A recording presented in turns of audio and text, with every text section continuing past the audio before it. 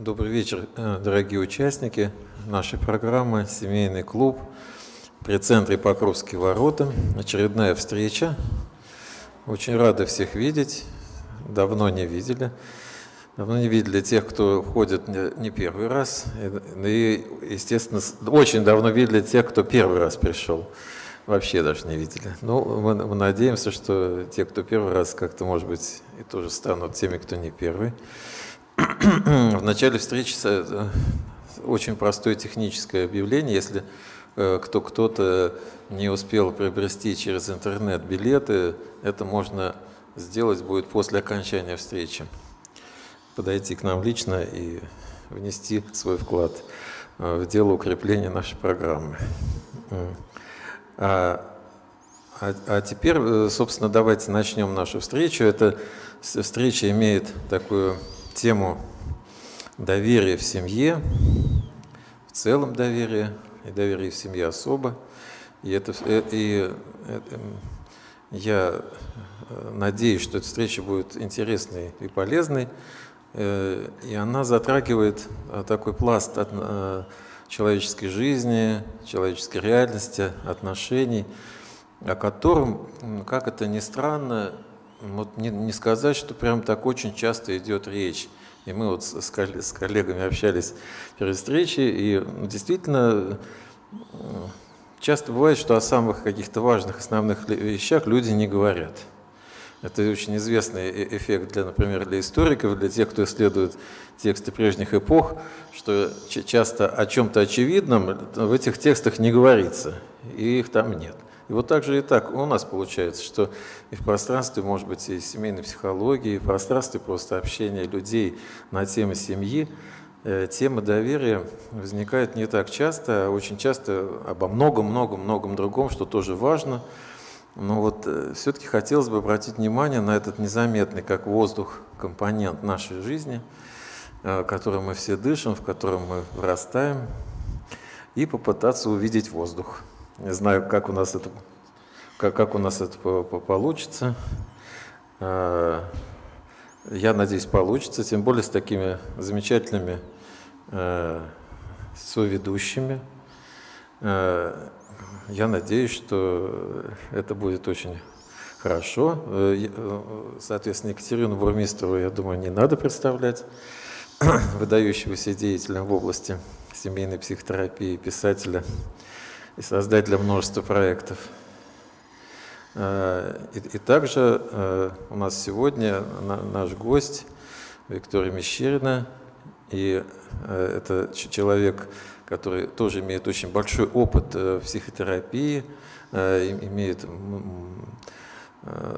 множество и, и преподаватель, и человек с очень большим опытом и стажем, и человек, который тоже, естественно, много чего есть сказать о доверии, о том, как в семье доверие присутствует или отсутствует. Потому что часто как раз к психотерапевту люди попадают с проблемами в плане доверия. Э, ну, Я хочу еще пару слов про Вику добавить. Виктория сотрудничает с моим психологическим центром становления, но в основном работает в Центре системной семейной терапии, который нам многие знают. И когда я с какой-то парой, имеющей психологические трудности, по той или иной причине не могу работать сама, как вы знаете, психологи не со всеми могут работать, но просто с теми, с кем знакомы лично, или где-то пересекались по жизни, или еще в ряде случаев, я, например, не могу работать. Вот самых дорогих мне людей я отправляю не к кому-нибудь, а к Виктории, потому что очень верю и в ее в профессионализм, и в ее человечность, и в подход к браку. Ну, лучше вот этот возьми. Спасибо огромное за такие теплые слова. Я сейчас немножко смущена. Я, а, но мне очень приятно сказать о том, что эти стены а, родные для нас, и мы очень плотно сотрудничаем с Бурмистровыми. И второе, что я хочу сказать, спасибо тем клиентам, которые сюда пришли сегодня в зал. Мне очень приятно смотреть на ваши лица. Спасибо. А, э, клиентов, клиентов, как я понимаю, в прошлом, а может быть и в будущем. Э, вот. Но э, Давайте мы начнем этот наш разговор. Я, я, я позволю себе его, его начать. И я обещал своей любимой жене, что я не, не буду чрезмерно философствовать, э, но все-таки обещал, но не, не уверен, что удастся это обещание сдержать, потому что, потому что все-таки эта тема, она вот мне видится очень как раз глубоко такой философской, богословской темой. И э, мне кажется, что это ну, нельзя этого миновать, в общем. Так вот, э, я, я хотел какую-то тему о доверии вот, начать с того, э, очевидно, мне кажется, довольно факта для меня, что, что вообще любой речевой акт – это пространство доверия. Наша речь – это пространство доверия. Речь предполагает доверие и, собственно, на, доверии основана вообще возможность э, коммуникации, речевой коммуникации людей. И где есть доверие, там возникает, конечно, тема сразу и недоверия. Там, где возникает вопрос о вере, там о неверии, там возникает вопрос о лжи и предательстве. И вот мне кажется, с самого начала очень важно для меня какой-то момент принципиально в этой теме, что что это все есть, и это нельзя разделить. То есть вот говорить о доверии я вовсе не хочу в том таком режиме, что ну давайте друг другу доверять. Конечно, в семье важно доверие, давайте доверять, как хорошо, когда все доверяют, как плохо, когда все не доверяют. Вот эти сопли такие вот розовые, мне кажется, они ну как-то неуместны для взрослых людей. Все-таки очень важно понимать, что, э, что доверие – это риск, доверие предполагает недоверие, Доверие является э, своей обратно, можно сказать, да, доверие это такая вещь, которая всегда отбрасывает тень, а тень это недоверие. Это еще э, древние мудрецы всякие, древние философы об этом очень хорошо говорили. О том, что всякая ложь, всякое недоверие, всякое предательство, э, они основываются, можно сказать, на доверии. Это тень, падающая от него. Но в нашей жизни это все переплетается воедино. Это вот, собственно, простой первый месседж такой – а второе все-таки то, что, мне кажется, важно попытаться все-таки смотреть вот на эту очевидность доверия, потому что, ну, действительно кажется, ну, что-то это доверие, ну, это же не какое-то такое особо психологическое состояние, может быть, какая-то практика, какое-то какое-то усилие волевое. Э, но действительно, доверие трудно уловить, трудно уловить воздух. Но доверие в самом вот совершенно глубочайшем базисе находится, э, и причем по всем вообще уровням существования. Ну, начиная от физического плана существования, что просто нужно людям встретиться между собой, довериться друг другу. После этого рождается ребенок – с которым тоже люди находятся в состоянии доверия. Ребенок овладевает речью, которая тоже предполагает доверие. Ребенок дальше движется в пространстве социума, где тоже, естественно, который не может без, без доверия существовать. И вот, собственно, это, это незаметное условие нашей жизни, оно как-то, к сожалению, скользает. Я надеюсь, что и я, и мои собеседники попробуют сделать э, более видимым невидимое доверие. Может быть, Екатерина тогда. Сейчас. Я, собственно, без популяризации... Э, ну хорошо, давайте Виктория может. Не-не-не, без популяризации и розовых соплей я не могу. Это как это мой хлеб, можно сказать. Я считаю, что нужно начинать с каких-то очень базовых вещей. А, дело в том, что мы, психологи, работаем, к сожалению или к счастью, в зоне, часто, чаще всего в зоне неблагополучия. Это вот такая профессия, да, она из рода помогающих профессий, каритативных. У нас, к сожалению, в стране к психологу люди часто э, ходят в состоянии, когда им нехорошо, и очень редко ходят в состоянии, когда им хорошо. Это, конечно, любимые такие пациенты или клиенты, которые пришли, им очень хорошо, они хотят, чтобы им было еще лучше. Да? Если такой человек приходит, это просто именины сердцу, отдых, да? но часто люди приходят в состояние боли, состоянии, когда то, что у них шло легко, разладилось, когда потеряно доверие. Да, почти всегда, э, если люди приходят с проблемами в отношениях, в отношениях с парой, в паре это связано с кризисом доверия. И хоть я обещала любимому мужу не произносить слово «развод» через каждые 10 слов, но без этого не обойтись. Конечно, если говорить про пару, то максимум недоверия – это разрыв, это расторжение брака, это развод. И мы всегда надеемся, когда пара пришла с проблемами, что вот до этой степени недоверие не дойдет, что люди смогут выгрести, выплыть на берег и снова почувствовать возможность доверять. А, я хотела бы поговорить о том, что же является причиной нормальной потери доверия в супружеских отношениях. Вот так вот, да, то есть мы часто думаем о том, что ах, доверие пропало, это какая-то беда произошла, что-то такое нехорошее случилось. А у меня ощущение, что в браке, в котором растут, растет ребенок или маленькие дети, доверие теряется не то что закономерно, но, в общем-то, с высокой вероятностью оно в какой-то момент либо будет потеряно, либо оно истощится перед тем, как перейти на новый уровень возможности доверять друг другу. И можно прямо это привязать к стадиям развития отношений в браке. Вот когда люди только встречаются, только видят друг друга, там, может быть, еще речь не идет о доверии, речь идет о каком-то таком, ну, можно даже сказать, узнавании. Это одна из очень ресурсных тем. Можно спросить пару, как вы друг друга в свое время выбрали или узнали. И люди вспоминают о том моменте, когда, возможно, доверия еще нет, но уже есть какое-то узнавание и такая, может быть, готовность доверять. Может быть, люди это первый раз переживают. Совсем не все ведь выросли в семьях, где это самое доверие было. Тут мы видим человека и понимаем, что, может быть, даже еще нет любви, и доверия еще нет. Но мы понимаем, что потенциально доверие возможно. И это один из признаков выбора. Я не знаю, согласитесь вы или нет, у нас довольно много народу пришло, мы не сможем спросить вас, но очень часто я слышала от людей на группах и в консультировании, что да, вот это возможно, что я поняла, что ему можно верить. Я поняла, что с ним надежное тут доверие будет. И мужчины говорят то же самое. То есть часто до, возможность доверия является критерием выбора. Мы не будем голосовать, руки поднимать. Но про себя, вот если бы я спросила, было ли для вас это важно, вот вы подняли бы руку или нет? молчаливое голосование угу. для многих очень важно. Но и иногда это интуиция такой силы, что люди думают, что вот это доверие, оно само по себе э, будет всегда.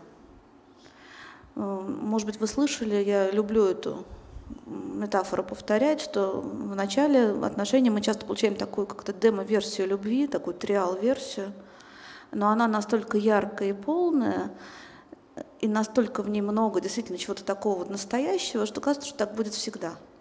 Что чувство этой силы, доверие этой силы, желание быть человеком этой силы, оно нам навсегда дано. А эта демо-версия, к сожалению, во многих случаях, она потом, как-то срок действия заканчивается, нужно уже ее обновить до полной. Понятна метафора компьютерная, да? А вот уже, чтобы ее до полной обновить, требуется работа. И вот это вот самое нормальное, ожидаемое истощение доверия часто попадает на тот период, пока маленькие дети. Давайте вот про это мы можем спросить. У кого есть дети младше трех лет? Поднимите, пожалуйста, руки. Ага, аудитория взрослая. У кого есть дети младше пяти лет? Угу. Младше семи-восьми лет? Да, это все равно все еще очень маленькие дети, младше десяти. Совсем взрослые дети. Угу. Но вот все равно, вот те, кто сейчас поднял руки, вы имеете дело с детьми, которые требуют постоянного эмоционального внимания, постоянной заботы, да, постоянного контакта. Очень часто, пока все мне дети маленькие, акцент переносится на отношения именно с ними, и там мы растим доверие. Мы же еще теорию привязанности все очень любим. Да? Там, где подчеркивается важность именно контакта с ребенком. И часто очень, это прекрасная теория, она э, побочный эффект такой, что доверие супруг, отношения супругов оказываются в тени, потому что все внимание, все силы, все ресурсы, все лучшее, что есть, оно переносится на ребенка или на детей. И вот долго ли, коротко ли, э, где-то возраст после трех лет совместной жизни Э, с точки зрения семейных психологов является таким критическим для отношений. И часто накапливается такой, как-то много мелкого мусора, много небольших ситуаций, э, каждая из которых сама по себе не является критичной. Но вот как бы в сумме они образуют некоторый такой, могут образовывать некоторый такой как-то осадочек, некоторый привкус, некоторый слой, отдаляющий друг от друга людей, и страдает доверие. Не знаю, было у вас это, проходили вы это или не проходили, часто люди не понимают, что это с отношениями происходит. Потому что это незаметно. Нет никаких там э, глобальных нарушений обещаний, нет каких-то вопиющих актов невнимания, нет чего-то такого большого, но вот это ощущение, что вы очень близко друг к другу, что вы вместе, что контакт отличный, а, не, оно уходит, меняется на что-то другое. И постепенно вот на почве отдаления, связанного с рождением ребенка, как раз может возникать недоверие. Люди этого не замечают. Вот часто в консультировании люди вспоминают первый маркер, когда недоверие возникло, вы его заметили, и возникла тревога.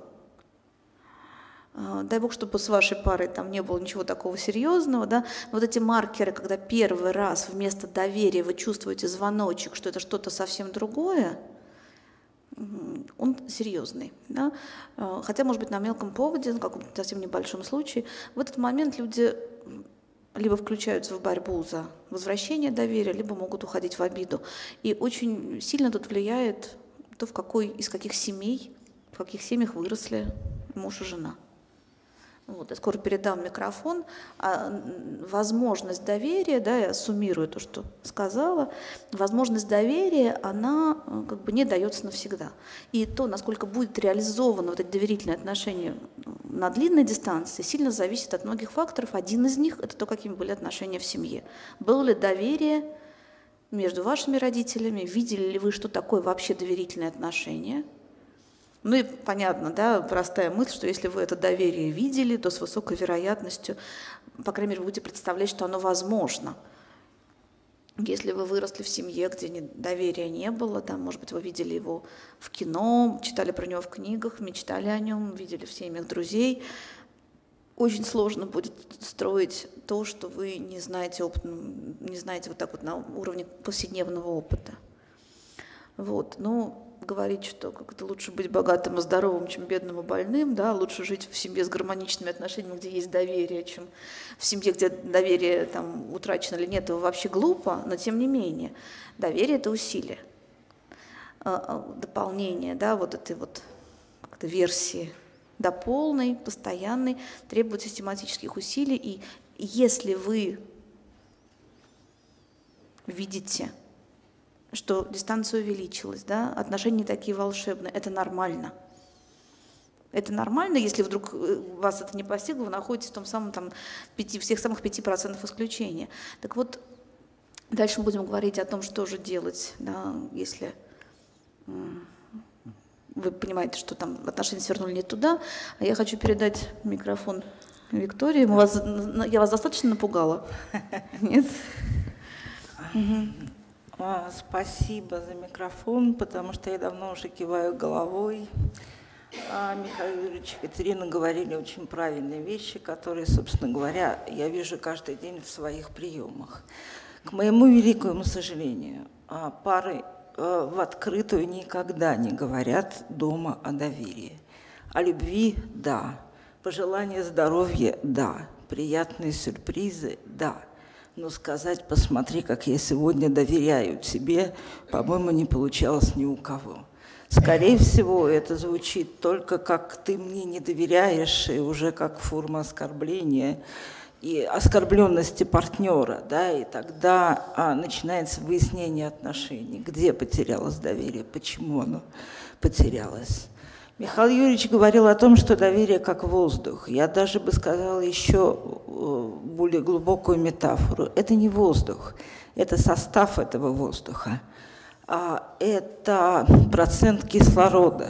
И когда он уходит, мы действительно очень не сразу э, замечаем то, что в паре исчезло доверие. Мелкий мусор, говорила Катерина. Да, мелкий мусор – мелкий мусор для одного партнера и очень большие бревна недоверия для второго партнера. Потому что мы приходим в пару из разных семей. потому что у нас разный семейный опыт, а нас обманывали разное количество раз. А нам бабушка говорила, не доверяй, это плохой человек. Нас учили недоверию, и, в общем-то, это нормально, потому что пока речь идет о своих и чужих, мы обязаны э, быть недоверчивыми. Мы обязаны э, не быть настолько наивными, чтобы это разрушало нашу жизнь. Но вот очень... И если об этом говорят, и говорят много с детишками, говорят много друг с другом о том, что я был наивна, как чукотская девочка, и вот опять печальная история, и нельзя доверять всем подряд, а, то, в общем, о том, как доверять внутри пары, когда все свои, и когда я уже выбрал партнера, и значит, по умолчанию – я ему обещаю доверять. Вот здесь, как правило, никакого практического опыта. Мы, а, приходя в собственную пару и строя свою собственную семью, не имеем. И начинаются всякие неприятности, у всех они разные и немножко похожие друг на друга. Наверное, самый частый вопрос, который задают пары – а это такой крик отчаяния. Если доверие ушло, наверное, оно больше не вернется. Но, в общем, я как эмоционально фокусированный терапевт говорю, этой иллюзии нет. Доверие иногда уходит, оно и находит по очень разным причинам, но оно возвращается. Возвращается, если двое хотят этого, и если они начинают говорить не о тех событиях а в паре, которые а, вызвали вот это недоверие между двумя, а говорить о возвращении самого доверия.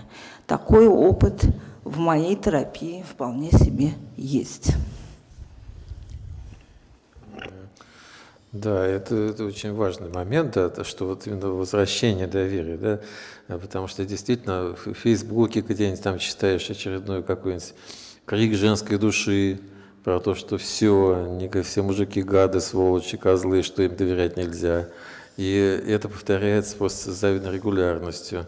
И действительно такое ощущение, что все, вот, э, все ушло, и ничего невозможно. И опыт э, вот, удачных таких историй, когда, казалось бы, на месте полного уже отсутствия, да, опять э, что-то возникает, другая жизнь, это доверие приходит, этот воздух опять приходит в отношения, это замечательно. И я не буду тут, у меня такого опыта нет, конечно. Я немножко все-таки вот хочу про все-таки какую-то фундаментальную значимость и присутствие доверия, э, вот про незаметность, опять же. Вот это что нам мешает это доверие увидеть как такой безусловный базис. Я согласен с тем, что в случае нарушения доверия, да, необходимы специальные усилия, там часто, и очень серьезная работа для того, чтобы возвращать, да. Но все-таки, а что оно из себя представляет, что возвращать? Вот мне кажется, об этом как-то важно мыслить все-таки. И э, это, это доверие базовое, оно, мне кажется, очень важно, что оно заложено в языке и в наших основных вообще речевых актах, с которыми мы сталкиваемся с самого раннего детства. Потому что, ну вот, э, прощение. Что такое прощение? Прости меня. Мы сталкиваемся это с раннего детства. Прощение – это акт доверия, конечно. Просьба. Просьба или мольба. Она может разве быть без доверия? Как мы можем в наших отношениях с людьми, в наших отношениях с детьми, я уж не говорю о отношениях с Богом, общаться, если у нас нет доверия? То есть любая просьба предполагает доверие. То есть эти базовые вещи – прощение – возможность простить, просьба, мольба, обещание. Как можно обещать, если нет доверия? Там, пап, ну мы, ну мы пойдем гулять, ты купишь мороженое? Да, конечно. Но все, это доверие. И, а, и это базовая вещь доверия. И как дети жестоко переживают, когда это нарушается. Вот ты же обещал, Вот эти вот слезы. Ты же обещал, вот как же так? А, ну это э, дела, мы не смогли там все. Но, но фактически этот акт разрушения доверия глубокого разрушения базового доверия в том случае, если, если вот ты что-то такое сболтнул, да, ну, конечно, сходим там, сыграем, купим, а, ну, это как потом, потом, потом. А что потом? Потом разрушенное доверие. Э, вот эти базовые вещи совершенно, да. Само по себе принятие человека, я тебя принимаю, он тебе доверяет. Но все тут вот имеющие люди детей это понимают прекрасно, что означает вот это детское доверие, которое, с которым мы встречаемся. И многие люди взрослые, они в каком-то смысле даже, ну, можно сказать, могут, э, наверное, засвидетельствовать, что мы лечимся доверием наших собственных детей. Дети лечат нас э, от, от, от нашей поврежденности недоверием, наше искаженное вот, состояние недоверчивое к миру, которое в результате травм, потери и всего остального получается, дети нас поддерживают. Не мы их выращиваем, они нас поддерживают, они нас выращивают, они нам возвращают доверие. И эти неизбежные утраты доверия, а, они прилагаются. Вот не, не, сейчас я уже долго говорю, вот я хотел закончить, вот просто на, напротив меня икона этого вот изображения взывает к тому, чтобы вспомнить о парадигматической такой базовой ситуации утраты доверия. Ну, там вход Господень в Иерусалим, соответственно, да, и, и грядет это тайна вечеря, там, там, там э, Гефсиманский сад, предательство Иуды. Ну вот подумайте сами, меня всегда это останавливало. Зачем, какой смысл в предательстве Иуда? В нем, кажется, никакого нет смысла. Иисус не прятался, и Он сам говорит тем, которые к Нему пришли. Помните, а чего вы пришли-то? Я всегда доступен. Э, чего меня тут ищете? Э, кажется, что Иуде не надо было предавать Иисуса. Там все было прекрасно известно, где Он там ночует, там его можно было взять под белорученьки, отвезти. В чем смысл вот это? Это какой-то мистический, глубокий акт предательства и удара в спину, который делает Иуда, это какое-то вот э, глубочайшее нарушение доверия, это вот такое вот предательство, как антипод. Вот есть доверие, а вот на том э, конце предательство. И вот именно это так предательство, он выглядит как-то абсурдно по нашим мирским понятиям, потому что ну что, ну взяли под белые рученьки, там затолкали воронок, увезли, и никакой Иуд не нужен. Это же Иисус же по конспиративным квартирам там не прятался, в шалаше разлив, там бороду не надевал, не прятался, ничего не было. Значит, ему все это не, не надо было. Э, он был вот, вот на виду, и тем не менее этот акт совершился. Это вот такой центральный акт нарушение доверия, предательство глубочайшее, поэтому там вот церковная традиция Иуда в самом э, нижнем круге ада там находится. Хотя, казалось бы, ну что такого? Ну, в общем, непонятно, что. Как это на наши мирские деньги, непонятно вообще, что произошло и зачем. А это вот глубочайшее нарушение доверия, такое глубочайшее предательство Бога человеком. И вот это вот акт вообще такой вопиющий к небу, такой, да. Э, э, и Поэтому вот э, этот полюс доверия, предательства, он в нашей жизни постоянно, но очень важно, что, что вот доверие – это та нота, от которой все отталкивается. То есть все начинается не с предательства, все начинается с доверия. Базовая вещь – это доверие. Предательство идет потом. Мы в нашей жизни, раненые предательством и недоверием, часто думаем, что это самое главное – а предательство всегда только берет повод от доверия, оно паразитирует на доверие, оно является лишь отскоком от доверия. А базовая всегда нота, первая, это доверие. Это всегда вера, доверие, которое образует реальность, в которой мы живем и говорим. И наша речь, поэтому вы слушаете и доверяете тому, что я говорю, потому что речь без доверия невозможна вообще. Сейчас я бы предложила несколько оживить э, беседу, есть ли вопросы или ожидания, связанные с этой темой. Да? То есть мне кажется, что мы сейчас можем недолго, у нас будут вопросы и ответы, как обычно, в конце. Но вот вы выбрали провести этот вечер сегодня с нами, что вообще в современной жизни Понедельник, будний день. После там, выходных, ну то есть это, это, это серьезный, серьезный акт доверия тоже. Э, спасибо вам, это очень приятно. Но, может быть, у вас есть что-то, что вы хотели бы услышать в этой теме, да, какое-то ожидание, какой-то вопрос, какая-то, может быть, история. Или, может быть, вопрос появился по ходу уже нашего разговора. В общем, на два вопроса мы можем ответить сейчас. Есть? Ну что, неужели ни одного? Я пока хочу только откликнуться, что мы очень часто думаем о том, что в семье такого накала страстей, как доверие и предательство, не бывает. А, но это иллюзия. Каждый, кто любит, каждый, кто любим, очень боится быть преданным, очень боится этого ножа э, в спину и иногда размышляет о нем при малейших а, обстоятельствах, похожих на а, предательство. У меня было и детское абсолютное доверие иногда может быть разрушено одним словом, одним жестом. И таких историй в практической психологии очень и очень много. Например, я могу сказать о том, что ко мне в терапию пришел молодой человек совершенно восточной внешности – и рассказал мне о том, что его мама очень долго называла голубоглазым красавчиком. И пока он не пошел в школу, он себя считал голубоглазым красавчиком. И придя в первый класс, вдруг обнаружил себя кореглазым странным мальчиком. Он дрался три месяца. Он дрался со всеми, кто называл его не синеглазым, до тех пор, пока всех не вызвали в кабинет директора. А, и там в кабинете директора его маме пришлось признать, что его глаза карие. И этот молодой человек сказал, ну, сказал мне, что тот момент в нем что-то надломилось. А пришел он в терапию с запросом о том, что он не очень доверяет женщинам вокруг.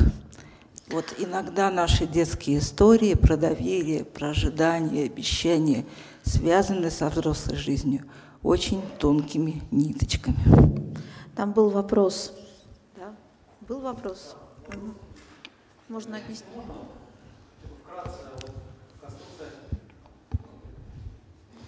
Если можно, очень интересно поговорить об, об отношениях как бы горизонтальной доверия в семье между мужем и женой. Но если можно, вот а, затронуть именно современные, а, современное положение дел с доверием, с воспитанием доверия к людям у детей. Вот, потому что мы совершенно по-другому сейчас обстановка, я так понимаю, везде. Мы не отпускаем своих детей сами в школу, на кружки, они не ходят друг к другу в гости. Ну, вообще как бы, как бы такое ощущение закрытости происходит. И в то же время мы должны, мы хотим, точнее, это сделать, мы хотим детям доверие к, ми, к миру открытым оставить. Угу. Вот. И если можно, как, вот, как вот это делать правильно? Сейчас попробую. Спасибо. Давайте я э, этот вопрос, он такой смежный с тем, о чем я э, собиралась говорить. Но э, как-то в ходе вот таких вот встреч просветительских важно, чтобы никому не стало хуже. То, что вам как бы что-то пригодится, это, конечно, вероятность есть, важно, чтобы хуже не стало. И я хотела бы немножко поговорить про наш с вами собственный детский опыт – для того, чтобы мы могли, немножко на него там посмотрев, опереться, да, использовать его в том, как мы относимся к нашему, что мы делаем в отношениях с собственными детьми.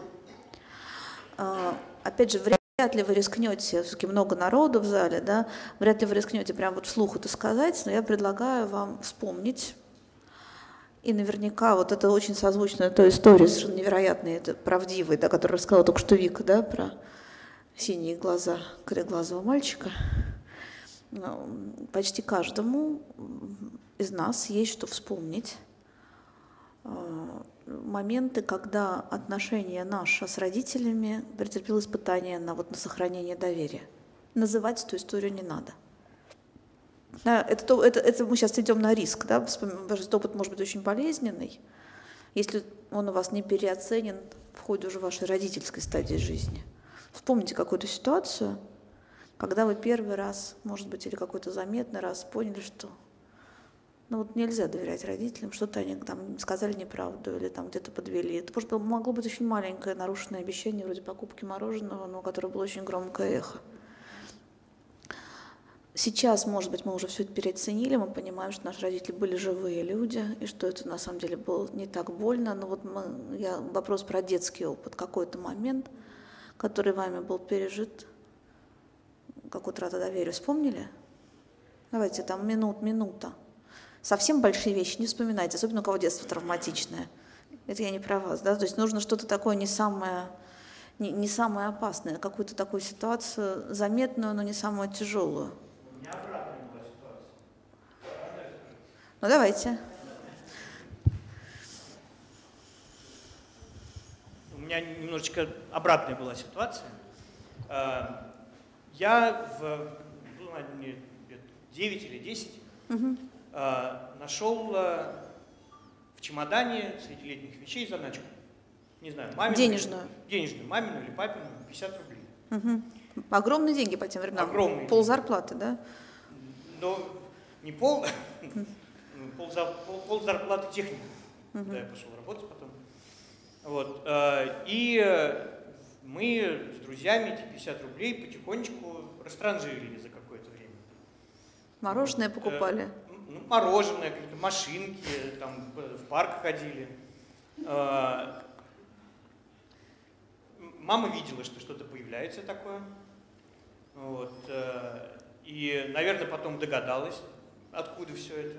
Но у нас с ней не было никогда никакого разговора. Вот, один раз только она намекнула, она дала мне возможность понять, что она, наверное, догадывается, э, когда, не знаю, что-то мы там говорили про покупки, э, и она там сказала, что а вот э, если чеки внимательно разглядывать, то из них можно что-то там такое увидеть. Вот, поэтому я думаю, она все-таки догадалась, куда делать заначка. Угу. Вот, но никакой выволочки я не получил, но мне всю жизнь за это стыдно. Что и, какая уникальная да, история. И деньги я не краду больше. Да. Потому что мама ничего не сказала. Потрясающая история. Спасибо большое. А я возвращаюсь к своему неприятному вопросу. Спасибо, Леша, да, про э, тот момент, когда вы почувствовали, что там родитель сказал неправду, или он не сдержал обещания. Знаете, часто это связано с пионерским лагерем. Обещали приехать, не приехали. Помните, были эти родительские дни? Помните, да? да, да Или да. обещали прислать посылку и не прислали. Или там в посылке могли быть конфеты, а конфет не было, одни сухари с сушками. Ну что-то такое, да. Это, это сейчас мы смеемся, да, а на весах ребенка это очень существенный момент. Вот не надо оставлять мины в тылу. Не надо оставлять занозы, если они начинают гноиться. Да? Вот эти вот моменты, которые вызвали недоверие в близких отношениях, с моей точки зрения, хорошо, если они как бы, ну, разобраны как-то, да, лишены, из них вытащен детонатор. Потому что вот эти моменты недоверия, возникшего в конкретной ситуации, могут отравлять отношения на долгие годы. Что мама один раз обманула, да, там, или сказала правду, а доверие потеряно на долгие годы. Такое эхо недоверия – это то, что ну, психолог часто делает в работе с парой, э, разминирование прошлого, да, потому что сидят какие-то моменты, которые звучат до сих пор, те моменты, в которых было потеряно доверие. И часто вот эти моменты как-то тем или иным образом связаны с опытом детским или подростковым. И, в общем-то, мне кажется, что если там у человека стоит задача доверять больше – доверять больше там, ребенку, доверять больше супругу, доверять больше сотрудникам, вообще миру доверять, то, может быть, нужно обратиться к тем моментам, когда к первым опытам появления недоверия в вашей жизни. То есть иногда именно там ключик от ситуации. Там, учительница там обманула условно, там пионер вожатый, вы доверили секрет, или там друг, другу вы доверили секрет, а друг рассказал ваш секрет. И, и появилась модель что доверять опасно. И она применяется расширенно к тем ситуациям, к которым она вообще никогда не относилась. Да, она применяется, как, это, как круги по воде расходятся широко. Вот такой опыт лучше как бы переписывать, преобразовывать, да, возвращаться к нему с тем, чтобы его изменить. Опять же, я не предлагаю сказать вслух, да, это очень такие болезненные обычно вещи, хотя ситуация, может быть, и 20 лет, и 30 лет назад произошла. Она, но люди, вспоминая эти моменты, могут ну, вспоминать со слезами. Да, какое-нибудь предательство подружки во втором классе там, или предательство друга в 14 лет, это то, что болеть может до сих пор и отравлять до сих пор нашу жизнь. Вот. А, опять же, вот как-то я любитель практической пользы, даже где не нужна. Может быть, вы можете вспомнить, не сказать вслух, а вспомните ситуации, если они вдруг есть в вашей жизни, которые, возможно, породили модель недоверия. Конечно же, мы все, я ничего не имею, я очень люблю Россию, да, и у нас выросли дети-патриоты, это так получилось, да, по крайней мере, старшие, но мы все воспитаны в некоторой такой традиции недоверия системам власти в государстве, да. Вот этот уровень недоверия есть почти у всех нас. Хотим мы этого или не хотим, но у нас вот такая вот ситуация, да, что, скажем, ну, редко кто сильно доверяет милиционерам или там работникам социальных служб. У нас этого нет в культуре. Они чужие, они, за, они как бы представители таких вот ну, внешних жестких структур. Но обычно в ближнем круге друзья, родственники, те, с кем мы работаем. Все-таки там хорошо, если таких источников недоверия нет. На уровне психофизиологии считается, что если человек не доверяет, у него там это выражается и в тонусе тела, и в общей напряженности, и в том количестве энергии, которое мы тратим на контроль. Ну, как бы у нас вся система на страже. Вспомнили ситуацию, породившую недоверие? Вот если у кого-то есть такая ситуация, из которой уже вытащен детонатор, она была, она много лет вам мешала, потом вы взяли и с ней эффективно что-то сделали. Там, да, верующие люди могли такие ситуации на исповедь да, принести, и это эффективно. Это не просто проговаривание одного и того же, а это как-то помогло. Может быть, это переосмысление ценностей, может быть, вам в свое время помогла работа с психологом. Иногда бывает, люди делятся историями с вытащенным детонатором недоверия. Ну, это. Часто мы не понимаем, насколько мощно работают модели, которым 20-30 лет. Вы эту мысль подумайте, да, и, в общем-то, мне кажется, что если вас стоит задача увеличить степень доверия в близких отношениях, да, то можно иметь внутренний реестр тех ситуаций, когда вы были вынуждены не доверять. Или когда вы выбрали не доверять. Вот из таких вот, психологи вредные говорят про грустное, да, из таких вот травм, да, ну не травм, но таких событий, которые могут очень сильно повлиять, это, конечно же, развод родителей. Я произнесла опять это слово второй раз. Значит, но это тот момент, или не развод, а предательство одного родителя другим. Это то, что вызывает эхо э, на одно поколение точно. То есть дети, которые в такой семье растут, они получают некоторый импульс недоверия. Очень, конечно, много зависит от того, как там люди все это пережили и подали, но тем не менее. Очень часто из таких запусковых ситуаций которые запускают недоверие, да, детское, и потом эхом звучащее долго, это какой-то обман в серьезной ситуации. У нас принято в стране скрывать болезнь и смерть. От ребенка принято скрывать болезнь и смерть. Считается, что это тяжелая информация, которая ребенка может разрушить. И вот совсем недавно я слушала от это не клиентская история, это история из моего ближнего круга. Я слушала, как э, ну, женщина, взрослая уже, с огромной болью вспоминала ситуацию, что ей не рассказали о смерти близкого человека. Скрыли, рассказали много времени спустя, только под ее расспросом. Это человек, который там состоялся профессионально, состоялся семейно, вспоминая ситуацию, которой там 40 лет, плачет, упоминая, да. Хотя взрослые хотели как лучше, они хотели сберечь ее там от сильных переживаний утраты. А это запустило недоверие очень-очень надолго. К сожалению, у нас вот эта вот, например, штука культурно обусловлена. Почему-то считается, что так лучше. Вот. Кошмару напустили. Вы знаете, в моем личном рейтинге а, самые тяжелые воспоминания, связанные с недоверием, это воспоминания о тайнах.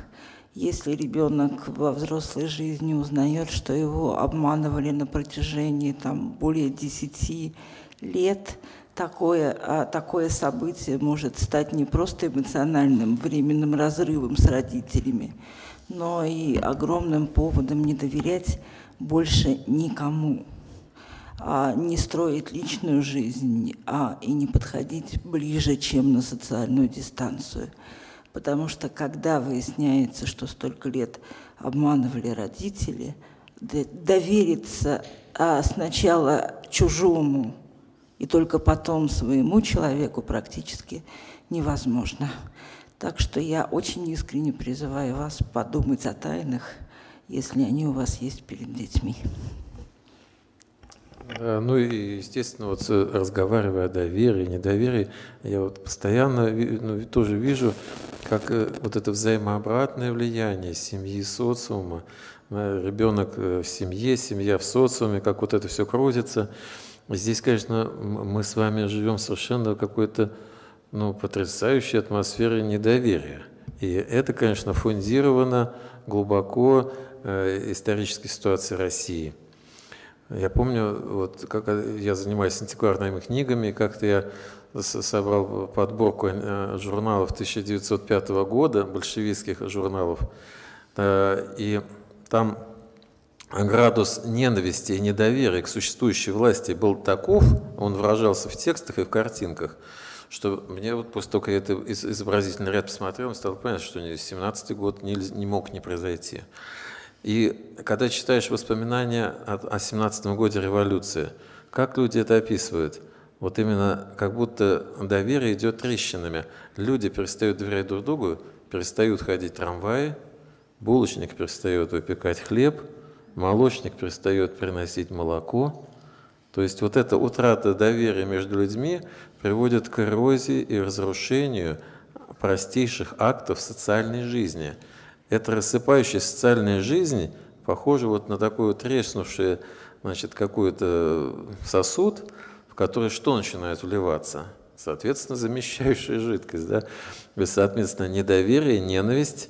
И вот те, поэтому вот мне кажется, если кто-то хочет историю России изучать, конечно, лучше всего читать воспоминания, просто не какие-то труды, монографии, а просто воспоминания очевидцев. Они прекрасно вот это показывают, как это происходило у нас – в 2017 году и дальше, вот это замещение доверия недоверием. И вот психологи тут не, не дадут соврать, что когда рассматриваешь генограммы семей, то просто ужасаешься тому, как, насколько типическим является след в семейных историях э, исторических обстоятельств. Просто вот эти убитые, неотпетые, скрытые, пропавшие, высланные – и вот эти все потери, и вот эти все вот травмы, как потом они э, э, через поколение поколения уже даются эхом в разводах, там, в, в, в алкоголе, в ненадежных отношениях, в изменах. И вот эти все, вот это, просто это видно, как вот эти линии, красные линии такие, они расчерчивают генограммы э, с, с тех семей, которые сейчас пытаются быть созданными. И э, эти обстоятельства миновать никак невозможно. И в этом смысле вот как раз дефицит доверия, э, который мы все здесь испытываем, и который мы все знаем, о которых вот уже Екатерина сказала, э, дефицит э, совершенно вот на таком уровне низовом, да, начиная от соседей, заканчивая правительством. Он, конечно, оказывает мощное возвратное влияние затем на нас. И Э, избежать этого нельзя, но вот как-то задумываться о том, как это происходит и что-то можем мы в этом сделать, в смысле, ну, мы должны, конечно же. Да, тучи сгустились, все совсем в черных красках. Действительно, есть недоверие такого масштабе страны и истории страны. Можем сейчас вспоминать ну, конкретные примеры. Но в то же время мне кажется, что у нас тут как бы одно уравновешивается другим, что в целом вот российское пространство, оно очень доверительно в отношениях дружеских.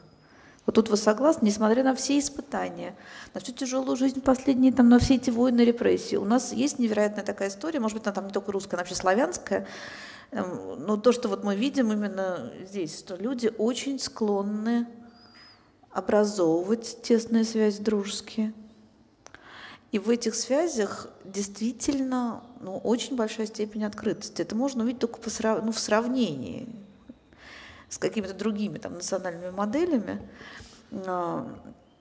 Часто родственники не являются близкими людьми, не являются теми людьми, которым мы доверим что-то, что нас волнует, и что-то, о чем мы переживаем и тревожимся. Но почти у каждого человека э, ну, на этой территории есть кто-то, кому может, кому он доверит там, ну, самое сокровенное.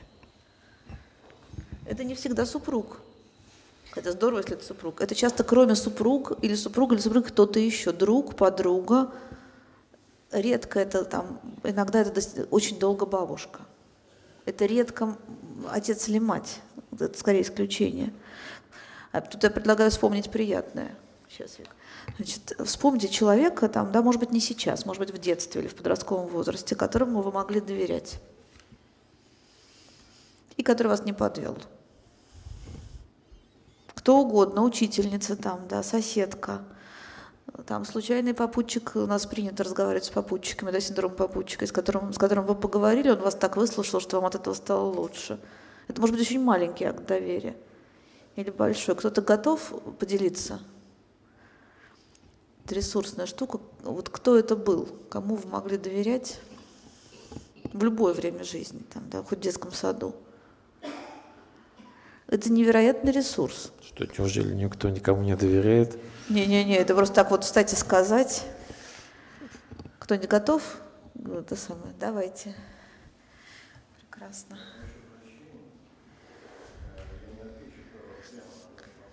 Ага.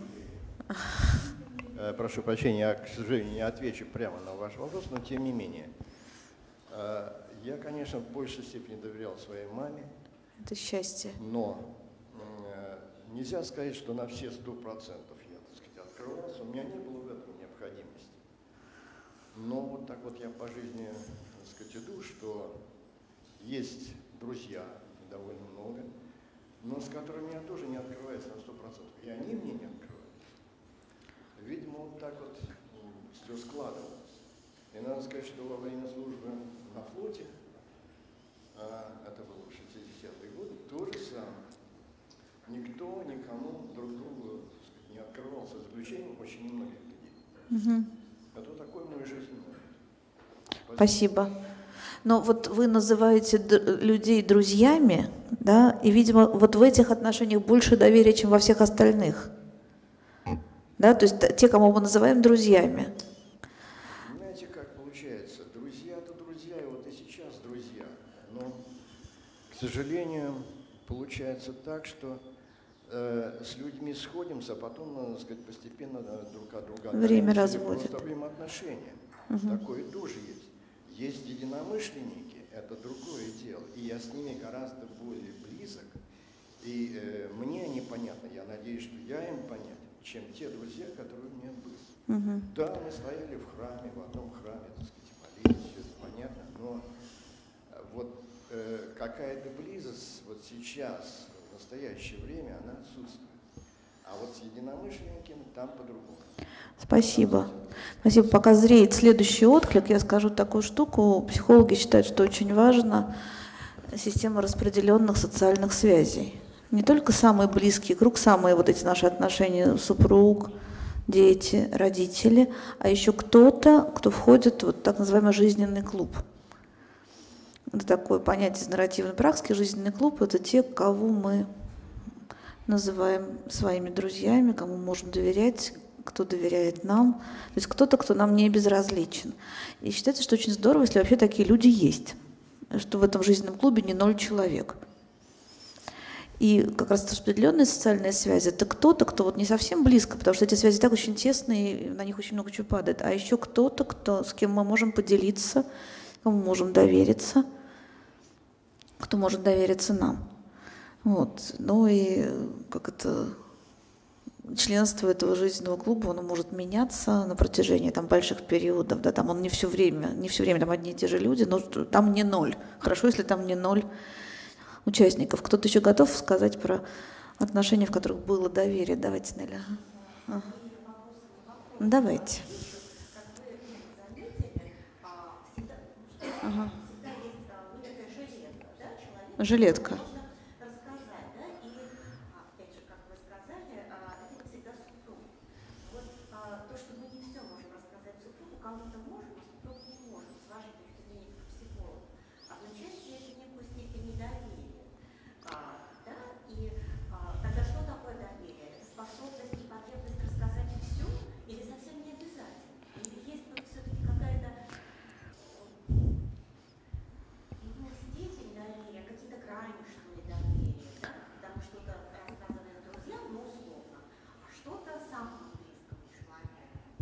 Спасибо. Сейчас я отвечу, потом Вику попрошу ответить на этот же вопрос. Угу.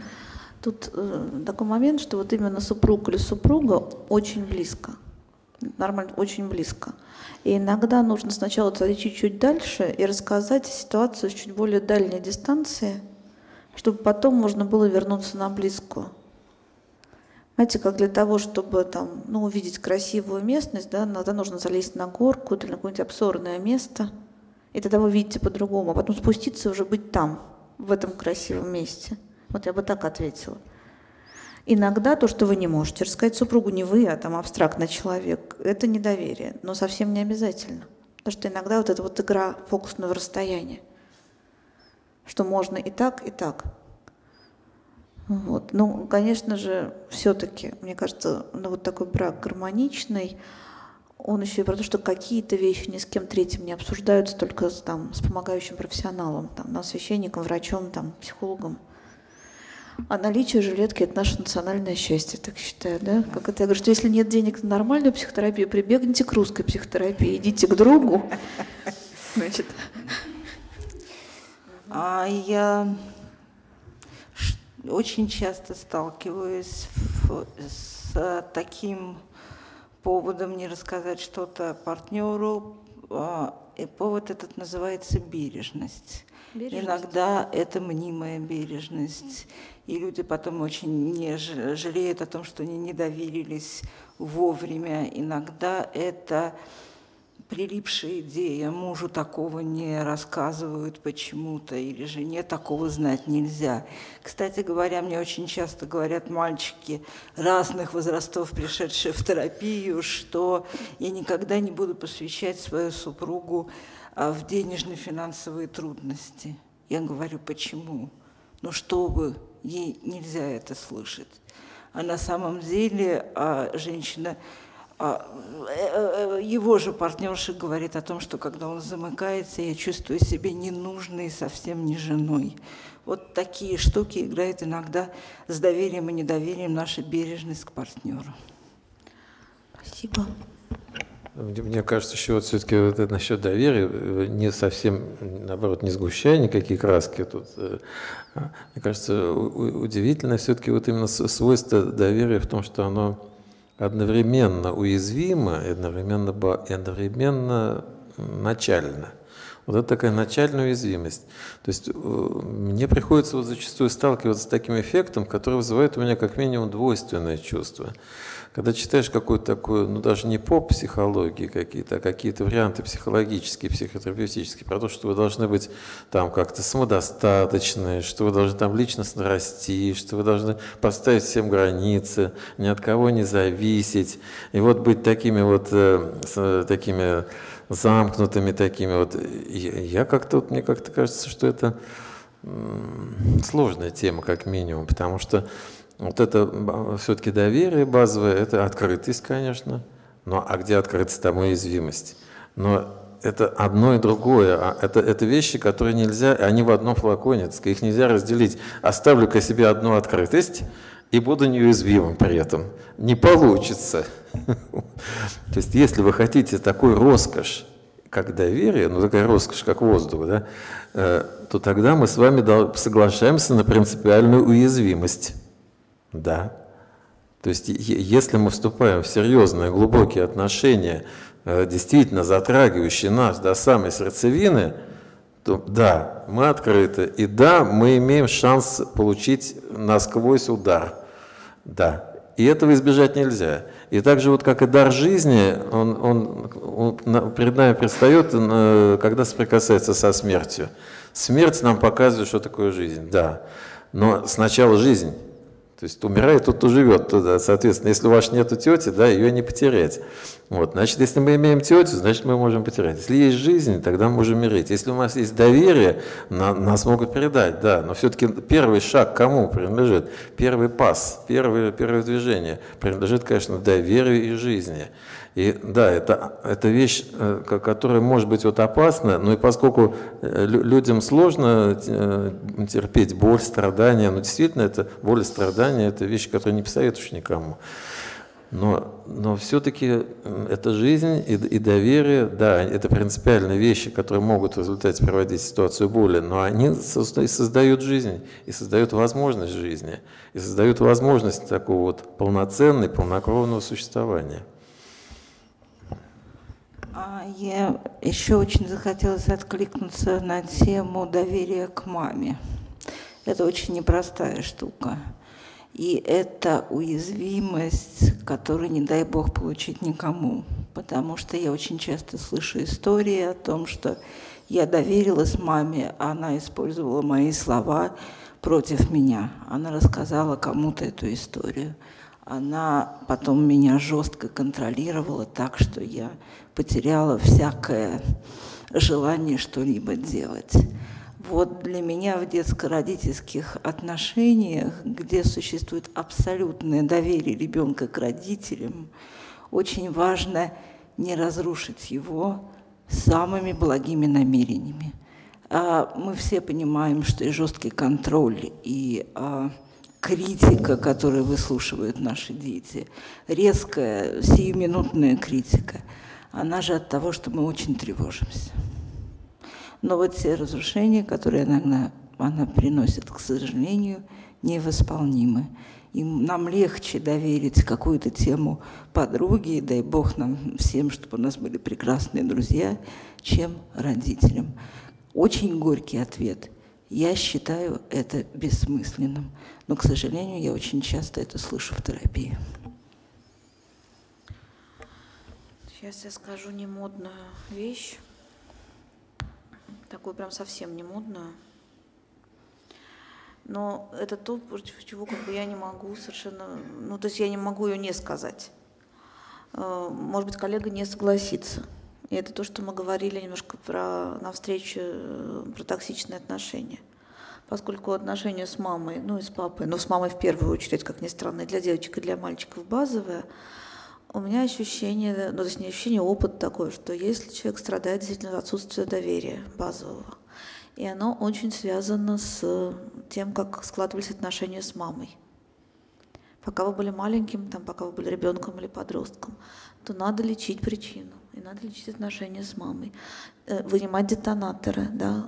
Не все могут пойти на терапию, там не во всех городах есть терапевты, тем более квалифицированные, потому что, знаете, психологом себя называют самые разные люди сейчас, и можно получить самого разного рода, как-то сказать, э, влияние, придя на то, что называется психотерапия. Но качественная психотерапия существует не только в Москве, а в разных крупных городах. Иногда невозможно не позволить себе не дойти до терапии, да и таких э, очень много случаев. Я знаю, к сожалению, отчасти поэтому мы ведем вот эту программу, все остальные программы школы, Кроме психотерапии тоже существуют способы излечения отношений с мамой. Они более медленные, они, может быть, не такие эффективные, они, может быть, не, не дают полного такого да, прощения и принятия. Но я знаю много ситуаций, когда люди понимали, что да, вот он корень недоверия, он там. Вот с этого момента я вообще не доверяю никому. Там уже и мамы, может быть, нет в живых, и никто не может э, как это, отвечать за то, что произошло. Там, и человек понимает, что мама это сделала не специально, она была больна там, или находилась под прессом обстоятельств, но искажения есть. Я знаю случаи, когда становилось легче только от одной книги в отношениях с мамой. Назвать ее, нет? Нет, это не то, что волшебная таблетка, называется книга «Фактор матери», автор Таунсенд, она очень жесткая книга на самом деле – очень жесткая, там нет ничего про прощение даже, мне кажется. Но там описаны типы отношений матери и ребенка. И от того, что человек читает, что это не он один пострадал от такой жуткой монструозной мамы, а это вот целый тип, и он вот так-то называется. И он видит все признаки этих отношений в своей истории. Части людей, которые не могут дойти до психотерапии, становится легче. Я ее рекомендую посмотреть, потому что мне кажется, что если действительно недоверие или что-то другое отравляет вашу жизнь сейчас, а началось оно тогда, то, возможно, да, время что-то пересмотреть. Особенно полезно пересматривать эти сюжеты, когда дети начинают приближаться к подростковому возрасту. Потому что как рождение ребенка – это некоторая инициация, такое посвящение да, в новый статус, так и вхождение в пубертат – ну, первого подростка, да, это переход на следующий уровень игры и еще раз испытание на возможность доверять. Потому что очень часто то, что мы себя там как-то не поменяли, да, начинает, с нами, начинает звучать в отношениях с подросшим ребенком. Не знаю, внятно ли я сказала мысль про то, что есть несогласные. Видите, есть, э, мы не зря проводили вот эту встречу про токсичные отношения в октябре, да, потому что совсем не все вещи можно избыть и простить, но все-таки их минимальное количество. Часто недоверие в отношениях с мамой может быть переосмысленно именно вот в статусе родителя взрослеющего ребенка, родителя ребенка подростка, когда мы оказались по ту сторону вот этой баррикады. Мы только что помним контроль мамы, и вдруг мы вынуждены оказаться в роли того, кто контролирует. И это удивительный опыт. Это очень быстро происходит, да, не успела оглянуться, 25 лет прошло, да, и ты уже по ту сторону, и это повод разобраться, с моей точки зрения. Угу. А почему же я не соглашусь? Я вполне себе да, не согласись. соглашусь с каждым. А, да, вот, к сожалению или к счастью, эмоциональный опыт человеческий хранится вечно. С одной Он стороны... Может быть, пере, ему может быть переприписано значение. Эмоциональный опыт хранится, а, да? Я не очень, ну, мы можем его переписать, конечно, мы очень можем, да, вот, понять что-то иное про это. Кстати, этот механизм ну, не только дает нам э, возможность обижаться на, на кого-то всю жизнь, но и хранить в своем центре любимого сердце Э, любимого человека, да, вот какие-то приятности, руки, улыбки ребенка, его эмоциональные слова «мамочка, я тебя люблю». И это точно так же, ну, это помогает жить во всех трудных ситуациях. Мы можем, мы можем, но это не бессилие. Мы можем разобраться в нашем эмоциональном опыте, мы всегда можем понять, что, чего уже нет в нашей жизни и уже никогда не будет. И, как правило, все понимают, что мамы а, были в тот момент бессильными или несчастными, или какими-то другими, что, в общем-то, может случиться и с нами тоже. И вот такое понимание дает а, большие силы пересмотреть а, вот такой не очень приятный опыт общения с мамой и пойти на некоторое сближение. Волшебной таблетки нет. А, все психологи на свете говорят одно. Пытайтесь, пытайтесь и пытайтесь. Получайте новый опыт общения с родным человеком. Да, и тогда мир потихонечку изменится. Да, я хотел бы еще вот говорить по поводу э, доверия, как э, Екатерина вот об этом уже начала как-то говорить, о доверии как э, одновременно условия отношений каких-то, одновременно некоторые цели – и это вот такая странность даже в этом есть, конечно, потому что, да, мы вот здесь сейчас говорим, э, насколько это фундаментальная вещь, насколько она незаметная, насколько она присутствующая, насколько действительно все там уходит в детство, в эти отношения с родителями, э, доверительные или нарушенные.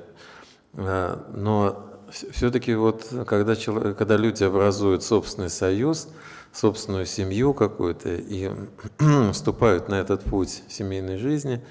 Э, вот в этом какая-то странность есть, но, может быть, э, как коллеги меня поправят, может быть, это не странность, это закономерность, в, то, в, то, в том, что доверие одновременно является как бы и условием, и целью пути. Действительно э, факт вот этого доверия друг другу позволяет этим совершенно чужим друг другу дяденьки и тетеньки – которые совершенно друг с другом не знакомы. Да, но это вот представить себе, что ты должен спать там в одной постели с кем-то чужим человеком. В общем, это странно. Э, э, ты должен разделять с ним всю жизнь, да, там есть вместе. Э, вот, скажем, такой писатель, как Поппер, например, еще в своей книжке, написанной в год Второй мировой войны, «Открытое общество и его враги», он там писал, что вообще люди в будущем, например, есть вместе не будут, потому что это настолько интимный процесс, а, они будут стремиться насколько самодостаточности, на то, чтобы ну, свободы, права, и у каждого должно быть право на собственную жизнь, а, соответственно, наблюдать процесс э, поедания пищи другим – это страшное нарушение интима. Поэтому все эти люди будут есть а, поодиночке только. Это вот такое вот какое-то страшноватое будущее, честно говоря, для меня совсем как-то. Э, но, но, но, но так вот, если подумать, ну действительно же это такая какая-то очень странная, глубокая, интимная связь, да, и спать, есть, вообще дышать одним воздухом. И кажется, что когда это начинается, а здесь наверняка есть много людей, которые в эту странную связь уже вступили, там, в ней сколько-то прожили, э, и кажется, что ну все уже, ну вот действительно, вот э, и оставили одних молодых, да, и, соответственно, и, в общем-то, да, все уже достигнуто. Но чем, чем больше я живу, тем больше я вижу, что нет, что, что это какая-то совершенно другая история потом дальше начинается. И вот это базовое доверие, конечно, без него дальше нельзя шагнуть, но это в чем-то мне напоминает тоже и церковную какую-то, можно сказать, жизнь, когда это вот начальная благодать дается, потом уходит, потом, может быть, возвращается.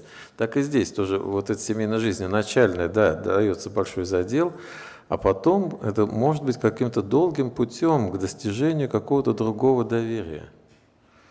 Действительно, когда, вот, э, когда люди э, живут вот эту вместе жизнь и идут в направлении доверия друг к другу, может быть, через какие-то сложные испытания, может быть, даже через какие-то вот очень трагические ситуации, вот как, э, как коллега тут об этом вспоминал и, может быть, еще расскажет каких-то...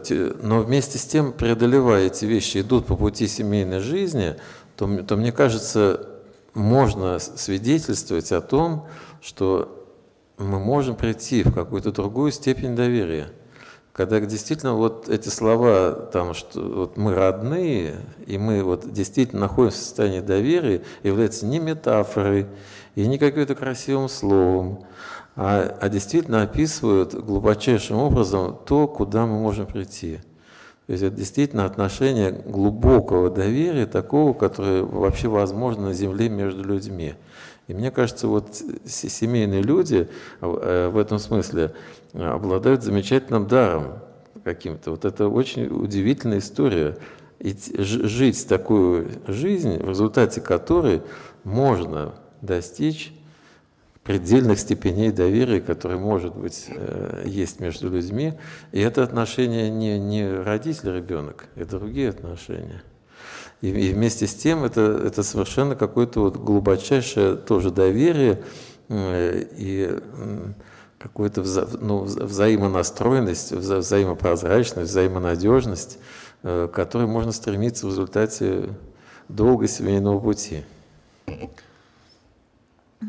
Я, значит, про маркеры недоверия хочу поговорить очень практический как бы, да, подход.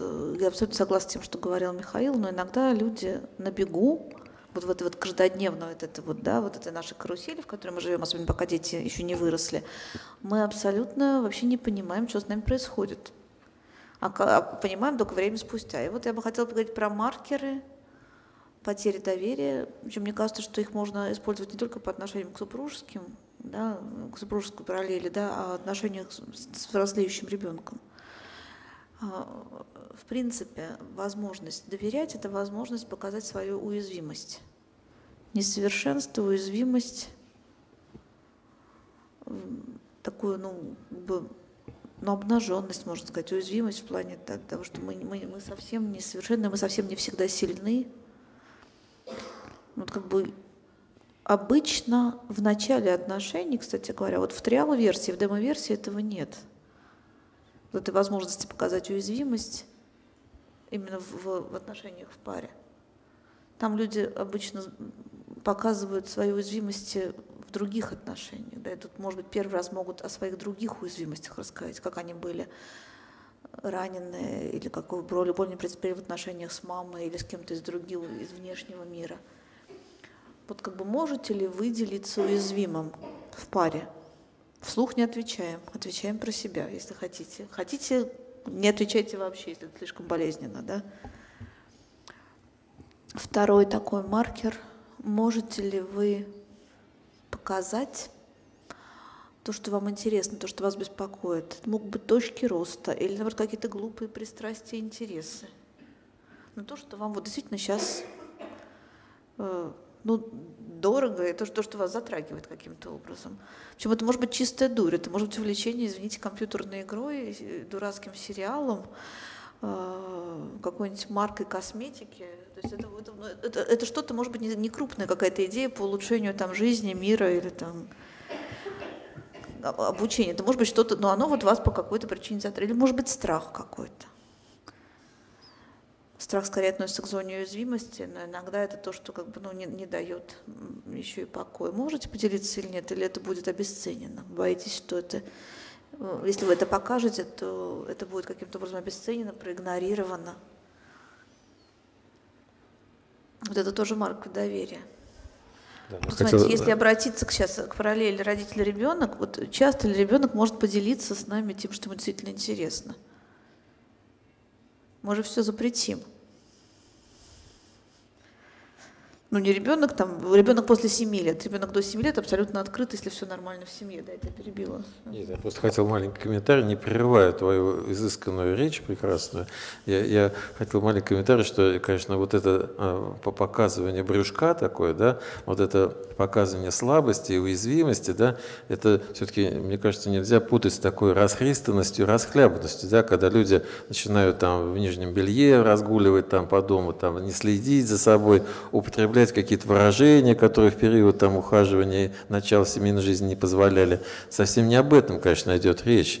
Не вот этой вот неряшливости, вот такой, наоборот, опускания, распускания, а, конечно, о фундаментальных каких-то вещах. То есть, да, э, то, что ты действительно боишься, то, что ты уязвим, вот э, мне кажется, особенно это э, хорошо и правильно, когда человек кризис среднего возраста накрывает.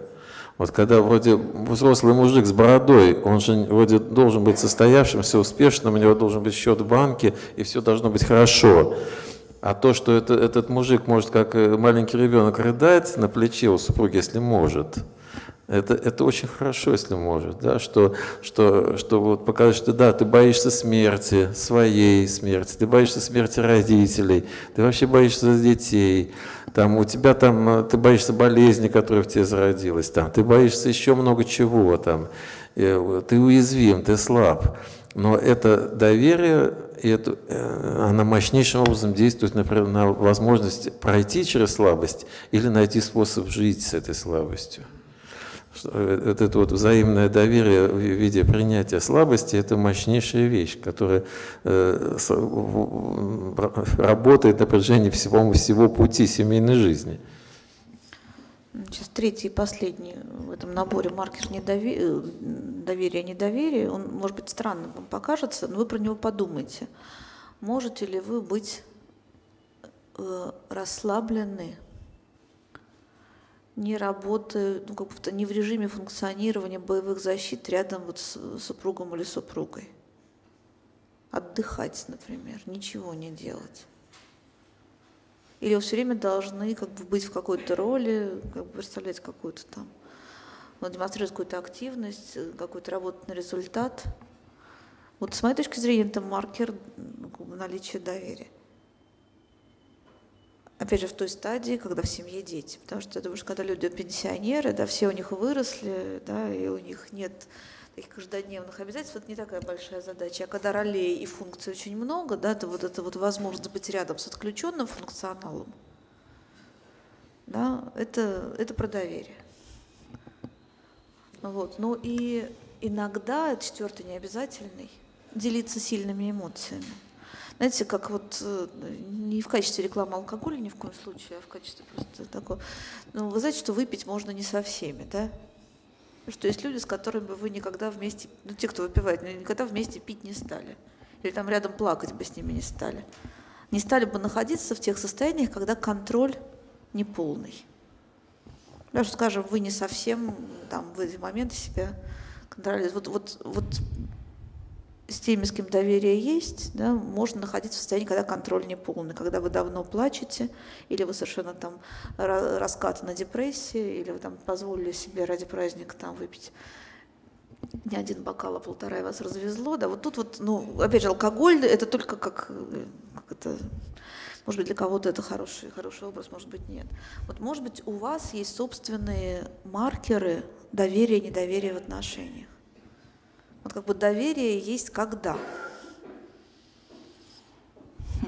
Когда можно сказать, что, может быть, вы там можете взять в долг, и это про доверие, кстати говоря, часто.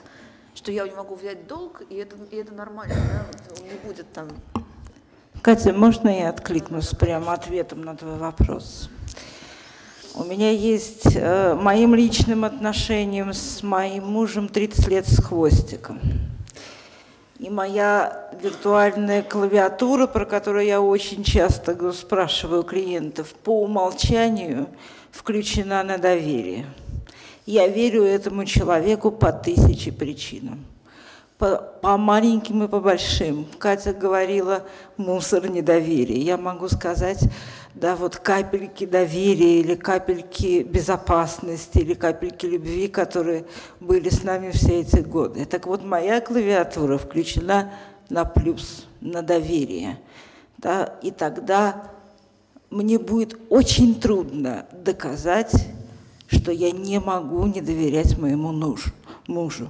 Мне нужны будут очень веские доказательства того, что в моей жизни происходит что-то не так мне будут нужны не просто слова, проходящие мимо подруги, или просто какая-то фотография, мелькнувшая в Инстаграме, дай Бог ему здоровья, а мне нужны будут слова мужа и мои понимания, что происходит.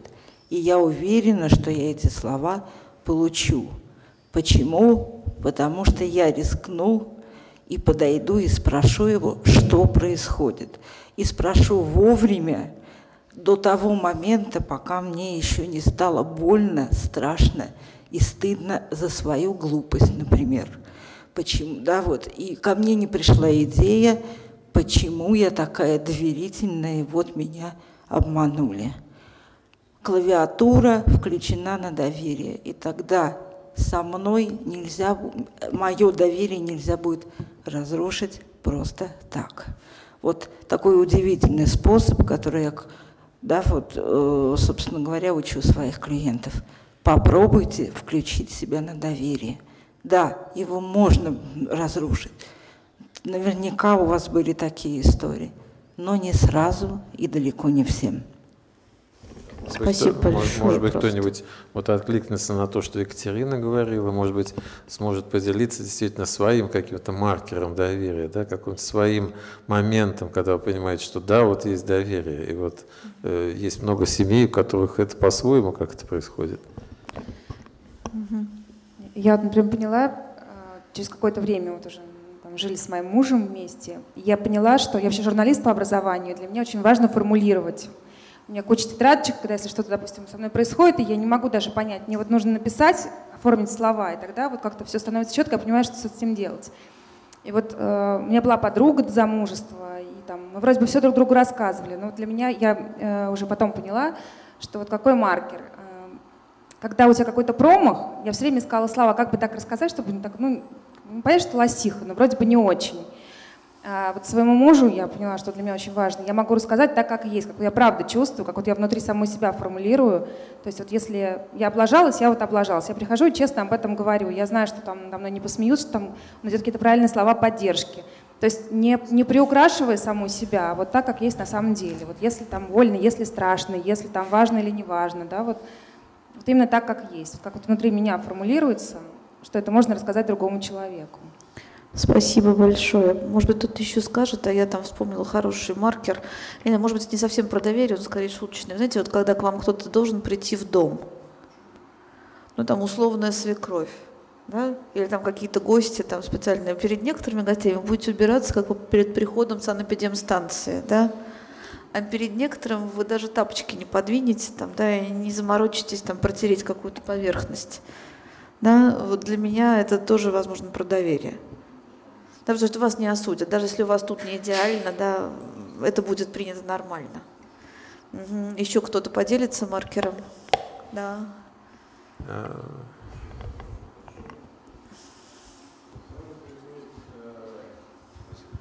еще раз прошу прощения, сразу приходит на память э, Евангелие. Одно из четырех. Везде, любое, практически любом, любой, любой эпизод, везде, абсолютно везде Господь искренен. Везде. Но он нигде не поворачивает наизнанку. Он никогда не, не сказать, он говорит всем, то, каждому человеку, что ему нужно. Даже, даже большой массе людей говорит то, что ей нужно. Но далеко не, сказать, не все то, что можно, может он сказать. Ученикам одно, ученикам одно, а э, сказать, внешним это совершенно другое. Не то, чтобы это абсолютно другое. Но каждый воспринимает в меру своего, так сказать, ту меру, в какой он может вместить. И в принципе в нашей жизни то же самое. Все начинается с искренности. Когда мы чувствуем ложь э, э, в отношении человека, это может быть, так сказать, мимика, это может быть слово, это может быть, в конце концов, какой-то жест. Это э, сразу же ставит преграду между, так сказать, нами. С одной стороны. С другой стороны, с другой стороны, получается так, что вот, э, опять же, наш жизненный опыт таков, что, мой в частности, что отец никогда мне не задавал, ни отец, ни мать, ни мама, никогда не задавали мне каких-то бестактных вопросов. Не было такого. И у меня не было намерения непременно что-то скрыть. Мне просто говорили, там не надо, туда не надо. Это не твое. Не то, чтобы говорили, просто давали понять. Я это отлично понимал. Мне туда не надо. Все. И, в общем-то, очень многое так было как бы из-под воли, так как бы невзначай, насколько я сейчас понимаю так.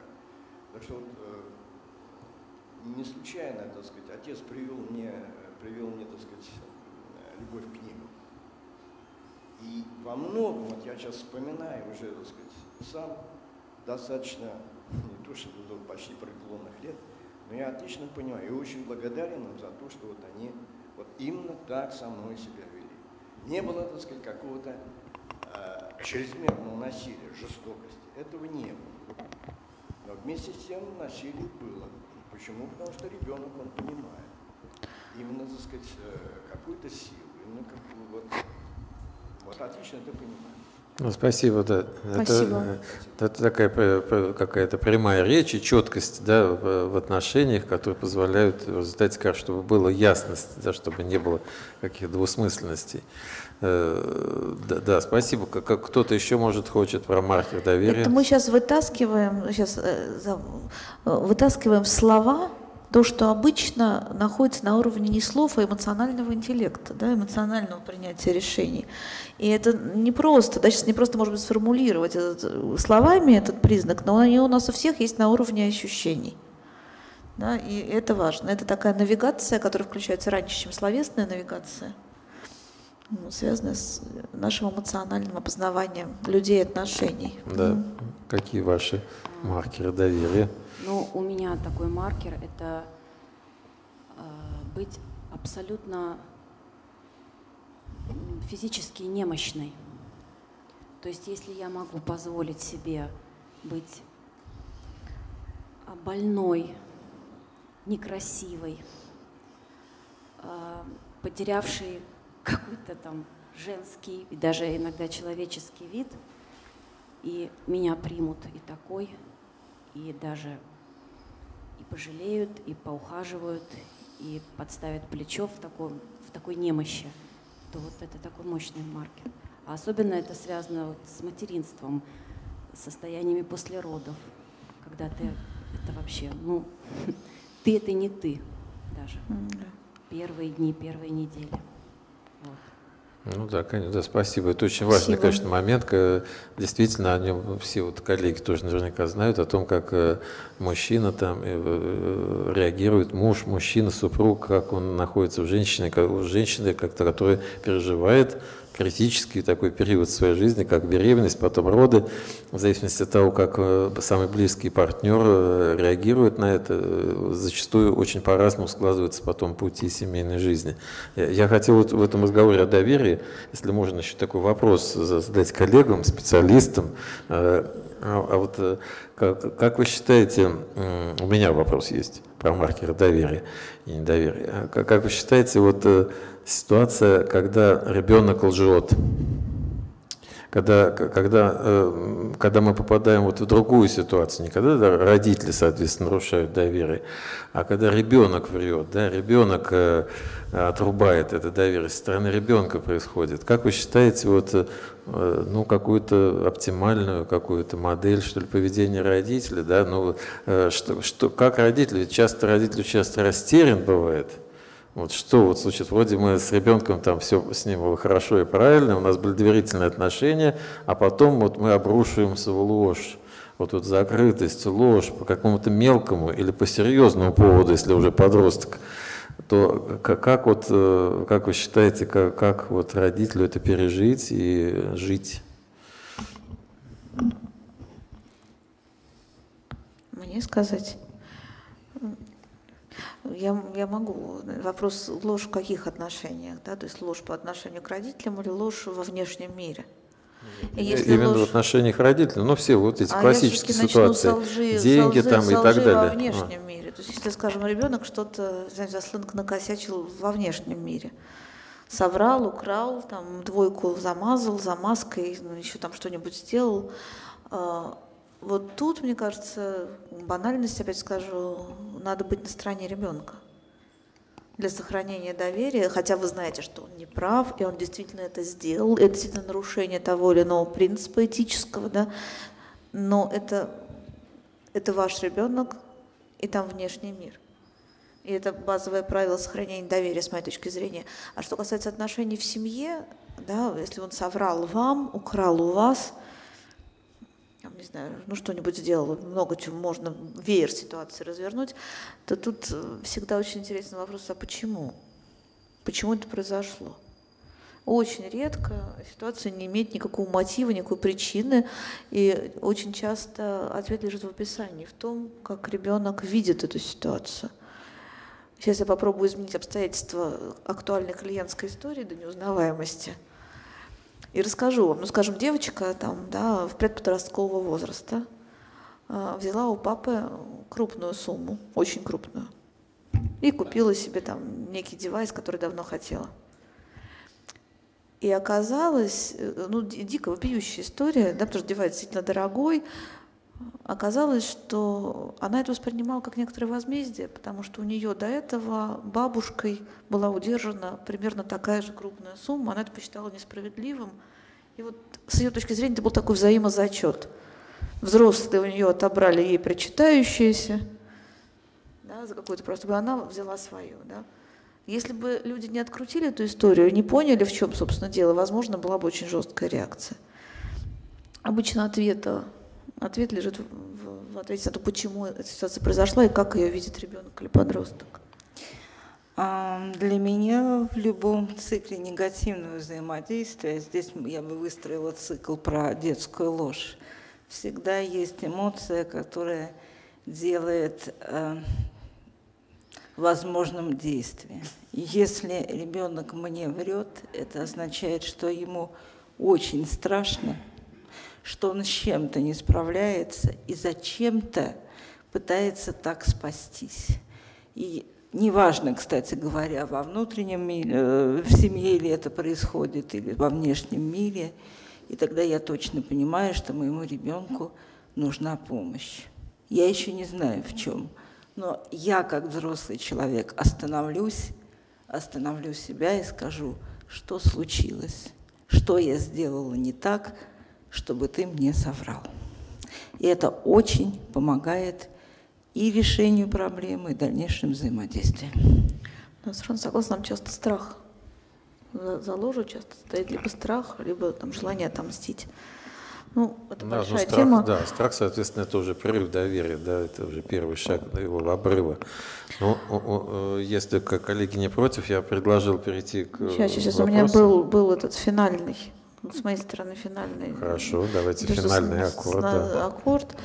Ну вот мы, я говорила о событиях, которые вызывают эхо недоверия многолетнее но совершенно убеждена, и как человек, как профессионал, что есть события, поступки, реакции, которые вызывают эхо доверия. Да, и вот то, о чем говорила сейчас Виктория, да, вот так отнестись к проблемному поведению ребенка. И то, что вот говорила Алена, да, когда тебя приняли в слабости, действительно приняли. Вот такого масштаба, ничего, что я использовала ваши примеры, да, это, маш, это поступки такого события эмоционально такого масштаба, которые потом вызывают волны доверия. И наверняка вы можете вспомнить такие события вот в своей биографии или в жизни ваших знакомых, когда кто-то вас очень сильно выручил, эмоционально подставил плечо, был рядом, когда вы были в состоянии уязвимом, принес вам, не знаю, там еды в больницу, денег на что-нибудь, да, когда вы не могли их сами добыть, э, послушал ваш бессвязный там вздор, когда вы были в демотивированном состоянии, просто сидел рядом и ничего не говорил. То есть это могут быть такие не, не, не очень большие действия с точки зрения вселенского масштаба, но для вас это то, что было очень вовремя, очень соразмерно, и это то, что потом позволяет, то, что работает долго, позволяет долго доверять. И таких событий в детстве тоже много, на самом деле, да, когда какая-нибудь там ваша бабушка не рассказала родителям про там вашу дырку на штанах, а зашила ее. Да, или там разбитая чашка была там, взяла на себя вину за разбитую чашку. Часто это бабушки, да, или там подружки. И тоже было бы здорово, если бы кто-то вспомнил. Я понимаю, что вечер уже, вот, и вот это вот эхо доверия да, мы можем запустить в жизни наших детей и подростков. Да, мы, потому что мы можем быть теми людьми, которые им покажут эту эмоциональную модель. И это то, что мы можем делать каждый раз в наших близких отношениях. Ну, почти каждый раз, когда там, мы находимся в своем уме, хотя бы ну, на сколько-то в эмоциональном ресурсе. Можно мне тоже маленький финальный аккорд? Мне очень хочется сказать, что мое доверие к партнеру начинается с меня. С меня, с моей клавиатуры. В жизни очень много маленьких и больших событий, которые его и восстанавливают, и разрушают. Но если я не дам шанс своему партнеру объяснить, что случилось, и если я не буду верить в то, что он не хотел меня разрушить и не хотел меня обмануть, но что-то пошло не так, и это случилось в наших отношениях, то тогда доверие восстановлено не доверие невозможно восстановить. Я а, даю этот эмоциональный шанс своему партнеру, я ему даю технический шанс восстановить э, доверие, например, в следующий раз забрать ребенка из детского сада. Да, вот. Но главное, я обращаю свой э, взгляд на новый эмоциональный опыт между мной и моим партнером.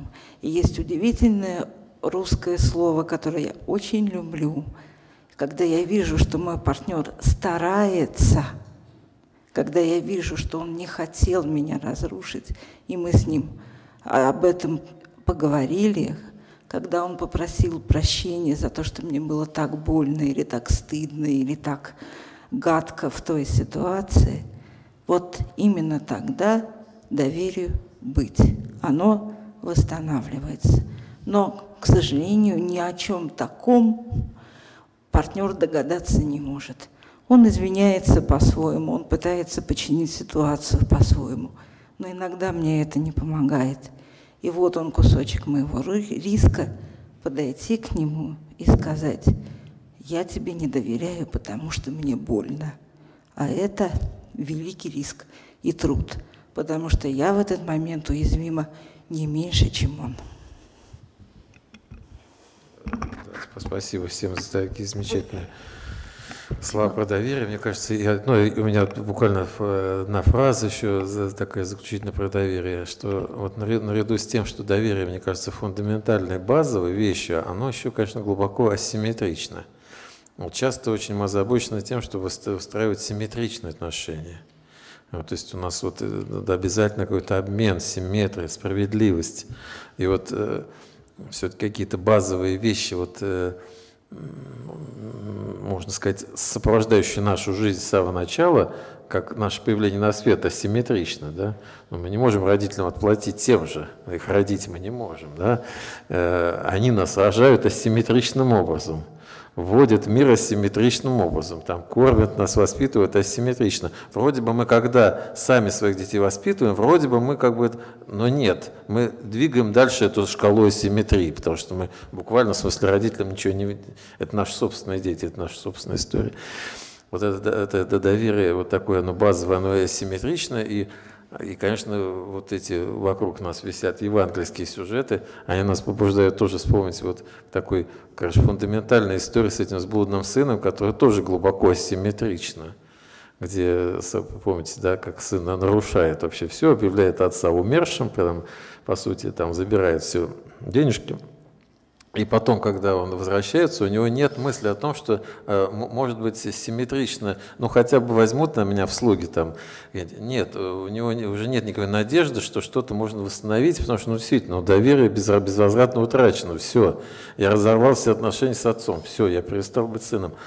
А что происходит фактически в этой притче? Да, происходит э, восстановление его в статусе сына, то есть происходит совершенно асимметричное действие. И вот в этом, мне кажется, очень большая какая-то надежда, что несмотря на то, что доверие часто поругано, оказывается, несмотря на то, что доверие часто э, оборачивается предательством, но оно вновь и вновь возвращается. И возвращается таким асимметричным образом. Оно, можно сказать, неуничтожимо. И оно вот постоянно-постоянно появляется, хотя, казалось бы, все должно быть уже давно разрушено. И, но оно постоянный приток в мир доверия, собственно, и создает для нас возможность этой жизни, потому что э, таким образом энтропия не царствует над нами э, а постоянно-постоянно асимметричным образом, неадекватным образом, несимметричным доверие вливается в нашу жизнь. Э, Но это вот мое заключительное слово. Я, я призываю всех желающих э, задать какой-то вопрос, какую-то реплику, какую-то, может быть, какую-то свою историю про доверие рассказать, которая как-то какую-то откроет нам новую грань этого, потому что это действительно огромная тема, и мы лишь ее немного затронули. Э, может быть, чего-то вы не услышали. Да, приглашаем всех желающих, вы доверились нам, пришли. Да, пожалуйста, вот Давайте. сейчас сначала, потом вы. Добрый вечер, меня зовут Леонид. Я просто выходил, может быть, прослушал, но я удивлен, что не затронута тема, может быть, поправьте, если была затронута, между доверием и откровенностью и откровением. То есть, э, что вытекает из чего и какова взаимосвязь между доверием и откровенностью. Отношения между людьми могут быть э, откровенными, человек один открывается другому, и это может вызвать э, встречную волну доверия. А э, взаимоотношения между человеком и Богом, как через откровение и наоборот, через, если человек открывается полностью Богу, то здесь тоже может быть э, э, возникнуть э, момент доверия. И у меня вопрос, с которым я пришел сюда и который был затронут с некоторых моментов, но так и не раскрылся. Это что же делать, когда доверия и не было в личных отношениях между двумя людьми, когда доверия не было, все время была какая-то стенка, стенка, стенка. И в итоге, спустя много лет, его и нет. Оно совсем сошло на нет. А, что же можно сделать там, не с точки зрения действие через Бога, например, с помощью молитвы. А с точки зрения, наверное, прикладной психологии, как действовать в каких-то сугубо отдаленных отношениях, которые ну, ну, предельно разрушены. Но при этом все возможности, люди живы, есть дети. То есть это вопрос про мою бывшую жену. Тут э, как найти? Потому что доверие разорвано, и дальше можно сотнями перечислять важные-важные какие-то моменты, шаги, э, оно подорвано, подорвано, разорвано, клочья, куда ни перекоснись. Но есть дети, и они дают возможность э, такого общения. Но при этом и здесь стенка, стенка, стенка, стенка, стенка вырастает. С одной стороны, мне присущ некий оптимизм в этом, я живу, и э, жизнь продолжается, дети растут, они включаются в эту тему, тема не вянет, она не делается пассивной. Э, но при этом э, и руки опускаются, года, десятилетия уже проходят. И авоз не только и ныне там, а еще и назад откатился. Хотя если со отойти иногда так вот, вот удается э, отойти от себя и посмотреть на ситуацию, ой, аж сколько ж моментов было разрешено всяких. Но общая картина все-таки сдвинулась вот, вот, ну, ближе к разрыву, похоже, чем к соединению. Вот. И опять же, э, несколько, по-моему, не проговорена, э, проговорена тема между откровенностью и доверием. Вот Спасибо. это ну, такой мой вопрос. Сейчас, прежде чем Виктория начнет отвечать, я хочу сказать, что нужно хорошо понимать, что возможно сделать за два часа встречи, которая разовая. Что-то возможно, наметить какие-то ориентиры, да, назвать какие-то там опорные точки – принципа, да, и это то, что мы сделали. Конечно же, невозможно раскрыть такую огромную тему, как доверие в полноте. И даже если бы мы сделали обучающий курс или онлайн-курс, даже и восьми часов там разговора не хватило бы. Это про общие вещи, да. Сейчас, может быть, там одной фразой можно ответить про соотношение откровенности и доверия. Вот, но, наверное, по вот сути вашего вопроса, Вика. Спасибо вам огромное за такой вопрос и спасибо за вашу очень горькую историю. Ей сейчас было очень непросто говорить, я, ну, я это понимаю и чувствую.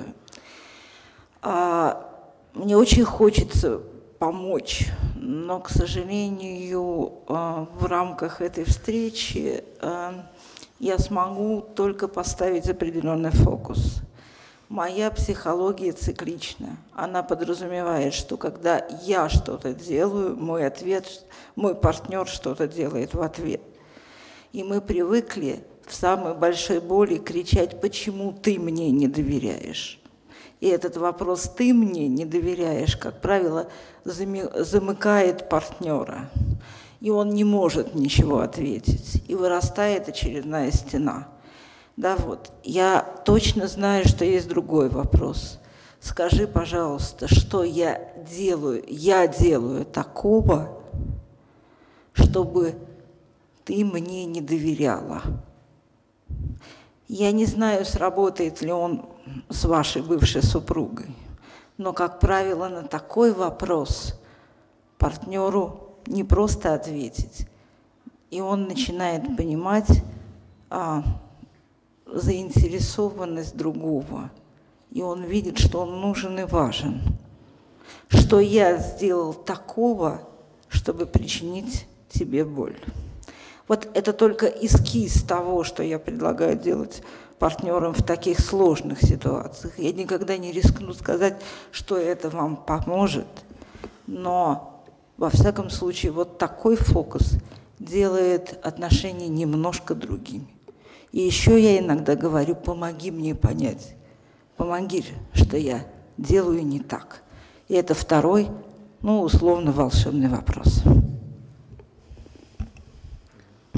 Спасибо. Еще вопросы? По, про, откро, про откровение, доверие – это отдельная, конечно, большая тема, но, но мне, мне кажется, что важным, что русские такие вот рассуждения насчет откровения и доверия, они часто описывают какую-то ситуацию рухнувшей плотины. Вот вроде было там недоверие, да, какая-то стена, потом она рухнула, и, значит, пошло взаимообратные какие-то вещи какие-то. Это, мне кажется, часто какие-то катастрофические могут, скорее, процессы так описываться. А все в ситуации такого базового доверия просто это откровенность, это условие существования, да, это ситуация, когда откровение, откровенность есть другое слово, другое, по сути, синоним того же самого доверия, да, это синонимичное выражение. Это не, не та ситуация, которую надо достичь, а ситуация, в которой уже есть. То есть в ней, в, в ней, в ней можно оказываться. Да, может быть, какие-то вопросы Сейчас есть еще. еще. Вот у, у вас был вопрос, ведь, Сейчас да? еще можно секундочку. Не забывайте вопрос про откровенность доверия. У меня осталась недоговоренная фраза вот из теоретического блока, может, она будет уместна, что, собственно, основание для возникновения доверия все-таки это слова. У нас есть потрясающий инструмент использовать слова, речь, коммуникацию. Да? И очень часто недоверие возникает, когда нет слов, да? когда слова какие-то не сказаны, это откровенные слова, слова, выражающие уязвимость и боль. Да, то есть способ возникновения доверия наш человеческий, который есть только у нас, да, это когда вы словами пытаетесь о чем-то сказать, по возможности откровенно, потому что какой смысл говорить не откровенно. Но это часто да. это очень большая дорога, и я думаю, все семейные люди это знают, что э, иногда, может быть, 10, 15, 20 лет нужно идти для того, чтобы можно было сказать простую, очевидную, совершенно банальную вещь, касающуюся твоего внутреннего мира, твоего там желания, нежелания. Ну, кажется, и потом ты эту вещь говоришь, и думаешь, а что, стоило 20 лет ждать? Может быть, это надо было сказать с самого начала? Нет, оказывается, надо было ждать 20 лет. Оказывается, вот эта э, возможность сказать, она действительно вырастает после 20 лет. Да, еще сейчас еще один момент, да, не в порядке рекламы. У нас был в декабре очень удачный онлайн-курс, ну, в смысле, с большой, ну, мы получили очень хорошее эхо. Он назывался «Я такая», да, может, это слушала, и он был про близкие отношения в браке. И мы попытались э, поговорить словами о тех вещах, которых люди часто не могут даже в браке, даже долгосрочном, да, говорить спокойно.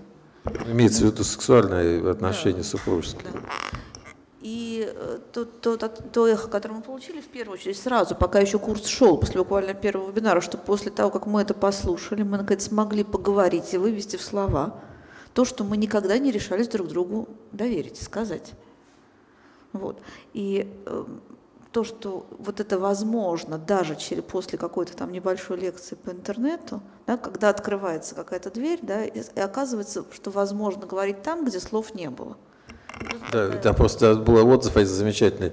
Люди прослушали бесплатный вводный вебинар, а вот видишь, а наша жизнь разделилась на до этого вебинара и после. Это не реклама, это что-то люди услышали, то есть, что люди, открыло их собственные двери доверия. До людей дошло, что об этой вещи, которая поперек брака у них стояла такой, да, об этом можно поговорить. Такая простая мысль дошла до людей. Я говорю, ну все, у нас вот рубеж. Это показалось достаточно. Не нужна была психологическая помощь. Да? Ага, да. Мы очень часто говорим своим клиентам, что все, что сказано в повелительном наклонении, это пуля. А то, что сказано и объяснено, это повод поразмышлять вместе. Вот тоже очень простой фокус. Спасибо. Вот Спасибо. у вас была реплика или вот вопрос, вот, вопрос, вот здесь угу. вот.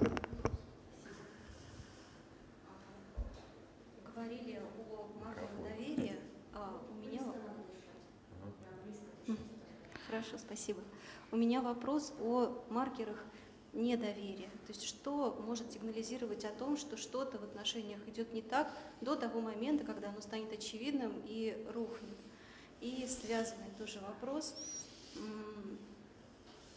Очень не хочется а, не доверять человеку, которого любишь, хотя ну, есть какие-то вот эти сигналы, и очень есть такой, ну, у меня большой соблазн их пропустить, а, оправдать, списать там какие-то обстоятельства, а, и что тоже в результате на отношениях сказывается разрушительно.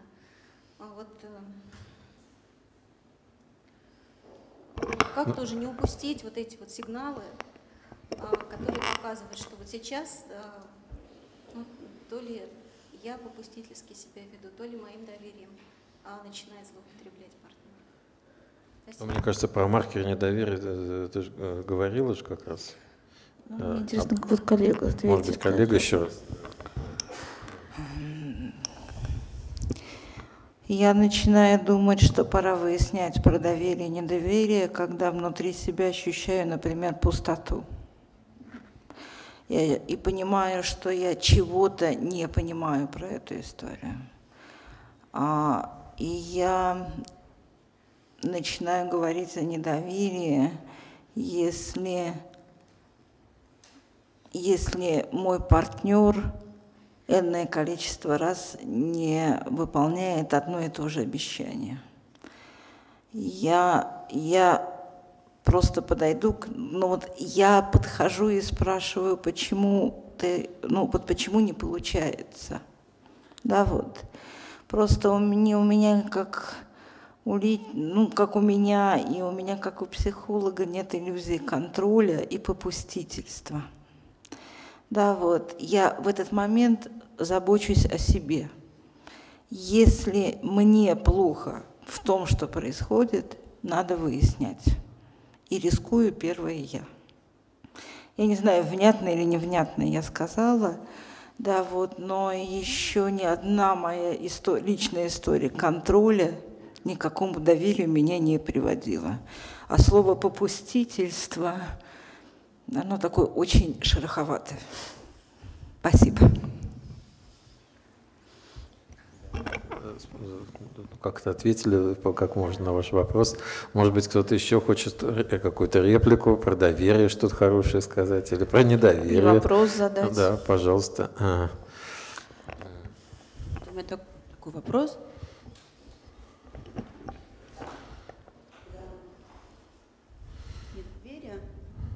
Порождает целую череду событий, ты уже не знаешь, что было началом, а что было потом, уже не ясно. Но есть общий тревожный фон, какие-то такие, как будто появляются отдельные отношения, отдельно от вас, и они уже с каким-то, ну, как поражены каким-то грибком. Я не могу это объяснить, как будто отдельный какой-то, что-то отдельное от вас, и вы уже как будто вовлечены в эту игру, в недоверие взаимное, взаимное желание укольнуть друг друга больнее или наоборот защититься, и вот о чем говорили тут ранее, э, продемонстрировать себя там, перед супругом с более лучшей, э, с лучшей стороны, нежели ты сам про себя думаешь, чтобы обезопасить себя от дальнейших нападок. И этот процесс, он, он усугубляется, и ты уже не знаешь настоящих причин, просто два чужих уставших человека. В какой момент э, надо сказать, что все, мы с этим завязываем, идем дальше. И до какого момента есть смысл э, с этим работать? Можно я отвечу на этот вопрос? Самый главный маркер а, для разрыва отношений для меня насилие. Если в моих отношениях происходит насилие, неважно какое – да, вот физическое, эмоциональное, финансовое, газлайтинг, то есть когда человек уверяет меня, что я сумасшедшая, да, вот это огромный повод подумать, что я делаю в этих отношениях.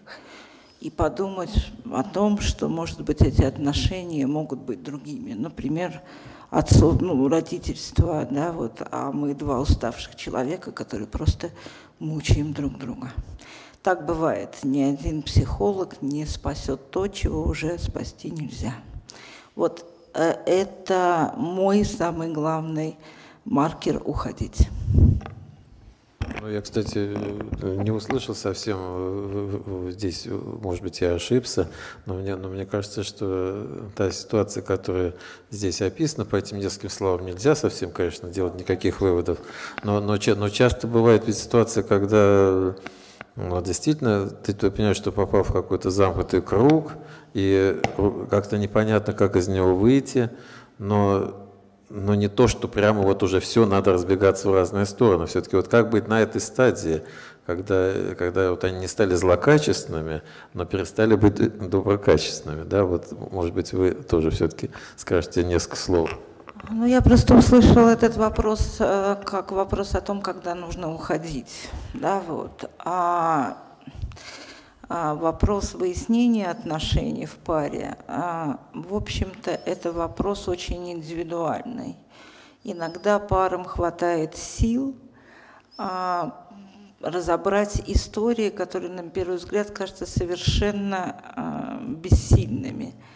И а, не важно, что лежит в основе этого желания, жалость, дети. Да, вот я, я когда-то говорила клиентам, если это ипотека, дай бог здоровья этой ипотеки. Да, вот. А, просто я очень хорошо как терапевт знаю, что если там только ипотека – люди не удержатся вместе. А раз они пришли в терапию, говорить об этом, значит, их связывает что-то еще. Это зависит от силы пары, от желания быть вместе и от силы разбираться в этих достаточно кровавых историях. Но я как терапевт точно знаю, что чем глубже разбираешься, тем лучше результаты. В общем-то, а вернуть доверие вполне возможно. Да, и, собственно, Виктория нам тут по секрету рассказала, что из десяти пришедших э, там, с предразводной ситуации пар, э, восемь э, перешагивают в новую жизнь. Вот в данном случае. Сохраняют отношения. Есть, как, как, как есть статистика некоторая. Да, да, да, да. Спасибо большое. Я просто хочу сказать, что вы аплодируете не лично мне, а эмоционально фокусированной терапии, которая была создана для того, чтобы улучшать отношения. И когда говоришь паре, что и предразводное состояние, и, например, некая а, да, вот, история измены, это не ваша плохость, а крик отчаяния, люди очень вдохновляются тем, что можно все вернуть. И, как правило, возвращают. Спасибо. Э, еще вопрос. Да, вот, тут, а вот, вот, вот там вопрос на втором ряду, если можно да, передать. А. Прошу прощения, понимаю, все устали. Я нет, нет, еще есть время. У нас есть время, мы Хорошо. доверяем друг другу. Да, сидим, я вот, общаемся. видимо, ошиблась немножко в теме, у меня было свое представление, потому что вопрос доверия, я долго тут в недоумении все слушала, первую часть, по крайней мере, потому что все это речь была о супругах, а я как-то вообще про детей все пришла. Супруг вообще в поле моего зрения не находится в этой теме почему-то. Ну, в общем, спасибо, буду думать об этом тоже. А про детей был вопрос у меня изначально, потому что одному ребенку самому старшему 10 лет и подростковый возраст. И, как уже сказано, если там есть травмы э, э, отношений с матерью, с бабушкой, если они из детдомов, да, то есть там все намешано-намешано, то детям это все достается очень много. И э, если опыт недоверия богатый, а опыта доверия нет, то, допустим, да, ну то есть вот такого, который хотелось бы иметь, то детям это внушается, ну как бы передается, да, они могли бы его, может быть, получить опыт доверия, но вот неоткуда. При том, что вот вроде бы родители, вроде бы любящие, все такое, все равно какой-то там червоточинка существует. Вот. И я понимаю, что это очень долгий, может быть, вопрос. Я не к тому, чтобы сейчас его обсуждать подробно.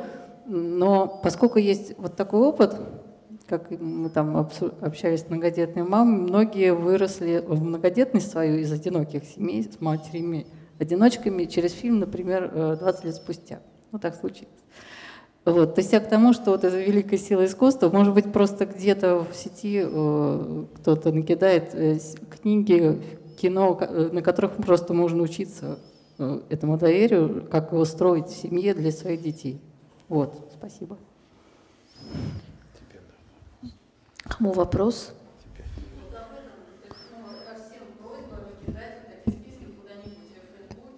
Uh-huh опоры для, для воссоздания доверия. Да. На примерах. Вот у меня, у меня какой-то пример, сразу мы говорили про этот фильм в сетях э, своих «Погоня за счастьем». Не смотрели вы, нет? Это фильм, где темнокожий папа остается с моим маленьким ребенком на руках, у него нет ничего, работы, дома, там жена ушла. И он делает все, чтобы ребенок сохранял доверие э, к миру, да. И а еще вот этот вот фильм, я забыла название, когда концлагерь, папа в концлагере, как этот фильм называется? Там очень чистый концлагерь снят, это единственное. Жизнь прекрасна, да, да. Это тоже про доверие. Хотя там, в общем, ну, можно к этому фильму задавать вопросы. Мне кажется, что вот эта опора на здоровое, да, и на то, что вам нравится, э, вот это очень верный акцент. И обязательно и фильмы найдутся, и книги, и даже люди подтянутся. Если вы почувствовали, там, что это то, что нужно, это обязательно все соберется. А что касается детей предподросткового возраста, то э, вот просто нужна перезагрузка понимания взаимоотношений. И там доверие просто основа. Да? Как вот мы когда-то учились с первенцами, как там их кормить, пеленать, укладывать, да, это была целая история, э, и как их обучать базовому доверию к миру. Это просто новый уровень игры. Вот, и э, абсолютно возможно почти в любой тяжести семейной ситуации научиться доверять взрослеющему ребенку. Я в этом убеждена, нужно просто по-другому увидеть эти отношения. И тут как раз там уже у нас книжечка есть, онлайн-курс вот сегодня там стартует, и э, можно без всякого, без этого, а говорить с людьми, которым удалось сохранить отношения с выросшими детьми, такие вот человеческие, близкие. Это просто еще одна задачка жизненная, очень интересная. Да, спасибо. Еще какой-то вопрос, э, тема, что-то еще про доверие. Э,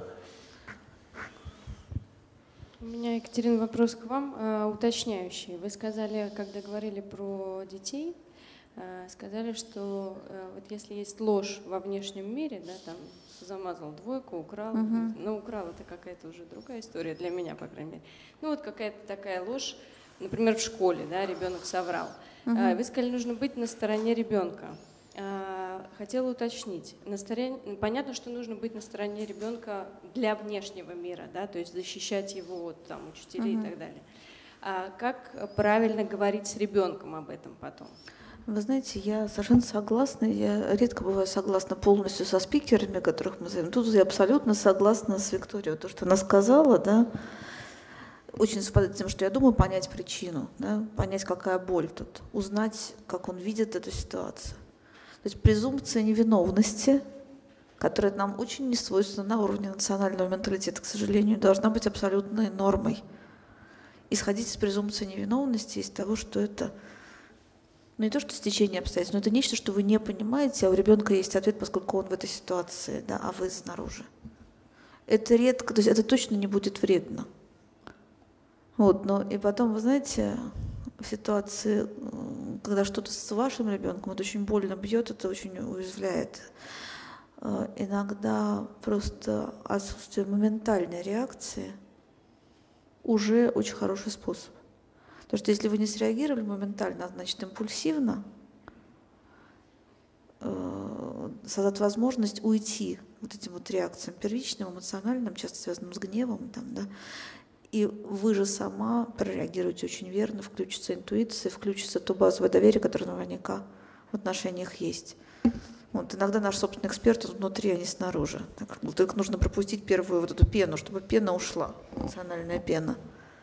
Да, спасибо. То какие-то еще, может быть, один-два вопроса да, есть хорошие, которые еще не, не обсудили, то мы готовы.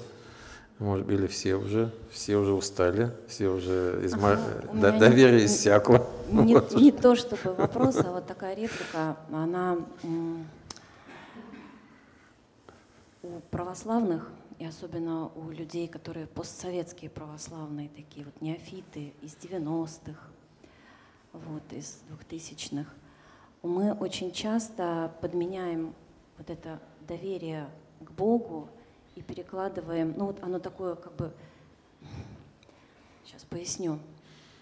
Нам кажется, что э, сила молитвы, сила вот чего-то такого, вот сказанного вверх, она абсолютно. И очень долгие годы такая ошибка пребывает, что вот есть какая-то проблема, и мы вот будем это решать с помощью, ну вот, грубо говоря, религии. мы будем молиться, мы будем как бы смиряться. Потом это выясняется, что это как бы смирение, это ничего общего с настоящим смирением не имеет. И оно тут и не нужно. А, или вот мы там пытаемся ездить э, по монастырям, к старцам, а, к батюшкам, мучить их без конца, там, годами, вот этими нашими исповедями, там, о том, о сем. И в итоге вот просто это история моя, и у меня много таких вот знакомых, кто вот бились, бились мы вот в эту точку. А когда пошли уже вот э, по пути исправления каких-то вещей через э, психологию, и я вообще поняла, что процентов 80 того, что я носила, к примеру, на исповедь, это вообще не туда, не к батюшкам. Иногда у них совершенно нет инструментов, знаний для того, чтобы помогать. Было бы проще лет пять назад там пойти просто к психологу, а не кормить себя вот этими идеями, что вот я вот помолюсь лишний раз, поплачу где-то возле иконы, и это при том, что я не отрицаю чудо, и я как бы как мать там пятерых детей, там, я знаю, что такое чудо и как это работает. Это имеет место быть, это никто не отменяет. Но просто иной раз, вот, может быть, кому-то тоже будет важно услышать, что вот это доверие, вот надо иногда доверять и людям, которые владеют какой-то специаль... специальностью, да. Ну, мне кажется, что что что что что что, что что что как раз, э, э если вы вспоминаете, мы с вами здесь вспоминаем про Евангелие, то как раз э, в этом смысле да, да, доверие Христа оно предельно человечно. На кресте, вот Христос там творит чудеса, вокруг бегают тысячи народу, потом он остается один, и он говорит, где мой отец? Ну, ты меня оставил. А, то есть он доверяет Богу, Отцу, доверяет. Э, вряд ли, что нет. А, а при этом что? А при этом оставленность и брошенность полная. И э, это, это как раз про доверие, конечно, про предельное доверие. Когда, когда все оставили, люди оставили, Бог как-то не проявляется, там, очень-очень, почему ты меня оставил. Э, и, и да, и, вот, и, и вместе с тем доверие – вот, поэтому э, нисколько не отменяет того, что, о чем вы говорите, да, такого комплексного начального, людей, которые хотят побыстрее заскочить на небо, используя головы батюшек, там, старцев или каких-то еще фигур, для, для того, чтобы быстренько туда заскочить и все, решить все проблемы. Нет, конечно, мы на тяжелом нашем опыте видим, что это не так. Вот, э, мне кажется, Евангелие дает такую картинку распредельного доверия, и такого доверия, смирения, и такого вот э, доверия предела, которое только возможно, конечно. Я еще от себя отвечу, если нужно. А, мы ну, дружим с некоторым количеством батюшек, общаемся по-человечески. И, ну, и общаемся с разными людьми, которые там преподают э, в заведениях, где учат батюшек. И все они говорят одинаковые вещи, что если бы нам преподавали курсы психиатрии и общей психологии, нам было бы сильно проще. И учили бы нас распознавать те моменты, когда там у человека заболевание, да, ему нужно пойти к доктору, который пропишет таблетки. А когда это там невроз или там какая-то ситуация, которая требует похода к психологу, нам было бы проще. А так этот опыт у них приобретается, конечно же, с годами попечительства, но очень медленно. Это одна только сторона. А вторая сторона, что еще не всякого отправить к психологу. Даже если батюшка, скажем, подкованный сам интересовался психологией, прекрасно понимает, что это вообще не к нему. Ну, а то еще тут не всякий пойдет. Потому что это... А, а, так ладно, еще кто-то пойдет, так вопрос, к кому он попадет. Ну, к сожалению, да, я не хочу дискредитировать коллег, но очень немного действительно профессионально работающих людей с достаточным опытом.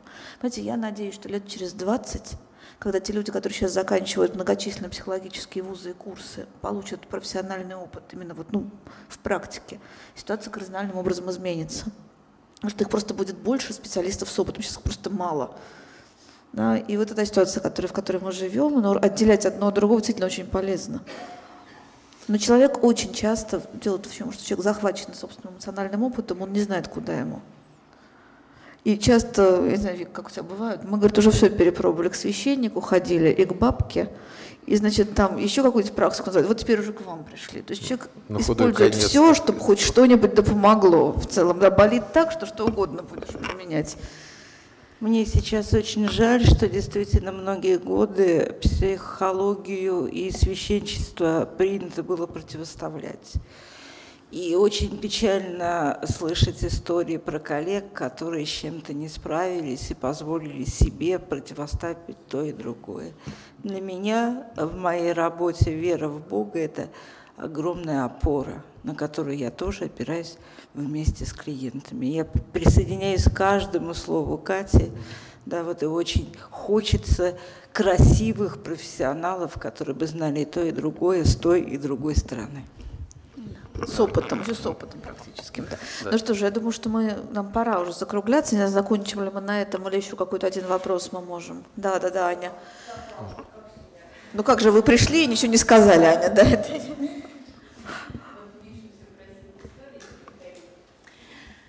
Вот, может быть, кто-то тоже смотрел из этой аудитории фильм. А, я совершенно не помню, как он э, называется. Вот, но он начинается с того, что а, пара довольно пожилая, а, они душа в душу живут, и вдруг вот она совершенно неожиданно умирает. То ли у нее сердцем плохо, то ли что-то. Он... А? Ну, я, ну, не помню я название. В общем, короче говоря, он в полнейшем горе, очень переживает, начинает там в доме что-то разбираться, ковыряться, и где-то в гардеробной э, достает коробку ну, он думал, что она с обувью, и она, эта коробка забита а, любовными письмами его жены, из которых он понимает, что она последние лет 20 ему изменяла. Вот, он об этом даже не догадывался, даже мысли такой у него не было. Да, и, э, и у него такой, ну, психоз начинается, то есть он начинает делать вещи, а, которые вот он при ней не делал, там, то есть он идет извиняюсь за подробности, но это жутко смешно, он идет в туалет э, и начинает специально писать мимо унитаза, потому что она ему за каждую капельку говорила, а, ты что там? Это ужасно смешно, да. Я дальше ничего не помню. Но вот этот вот момент, вот этот момент, что так человек... а в чем, а в чем соль? А, ну, про, может быть, немножко про клавиатуру по поводу такого вот доверия, то, что Виктория упоминала. Представляете, человек даже не подозревал. У него просто даже мысли такой не было, и он узнал об этом только после того, как она умерла. А, а там вот вывод какой-то в фильме есть, Ань, не помните? А я вот ничего не помню, я помню вот это начало, потому что это было ужасно смешно. По-моему, я знаю, о каком фильме идет речь. Он называется «Любовник». Там играет Олег Янковский, насколько я помню. Нет, это не, нет, не совет, нет, у вас да, комментарий. Ну хорошо, я в любом случае хочу сказать, что человек а, прожил а, очень счастливую жизнь до того, как нашел коробку. И, а, да, вот, собственно говоря, и он жил в доверии, и очень несчастную после того, как это доверие потерял. Так что клавиатура защищает меня, и я очень в нее верю. Спасибо большое. Вот, мне кажется, что вот я могу ответить как раз, что э, словами, которые для меня утешительными показались в вопросе доверия, правды и лжи, вот их сказал Василий Шукшин. Все их, наверное, знают, но вот в данном случае можно ответить, как бы откликнуться на, на комментарием таким. А, он сказал, если вам удалось обмануть человека, то это не значит, что он дурак. Это значит, что вам доверяли больше, чем вы этого заслуживаете. Спасибо, да, да. Да, ну что Спасибо всем, кто доверился и пришел на встречу про доверие. Я надеюсь, что мы не исчерпали кредит вашего доверия. И э, у нас будет еще одна встреча в этом году в мае. Это четвертый сезон э, или пятый вот, уже и, этого семейного и, клуба? Да, да. И, и я, я надеюсь, что кто-то из вас э, сможет тоже зайти, прийти. Смотрите в, в интернете объявление на сайте нашей онлайн-школы, в Фейсбуке. Всех еще раз благодарю все, э, да, точной даты после нет, майских, это середина после мая, майских. после майских праздников. Давайте дышать воздухом доверия вот, э, и встречаться, разговаривать. Спасибо всем, кто пришел сегодня.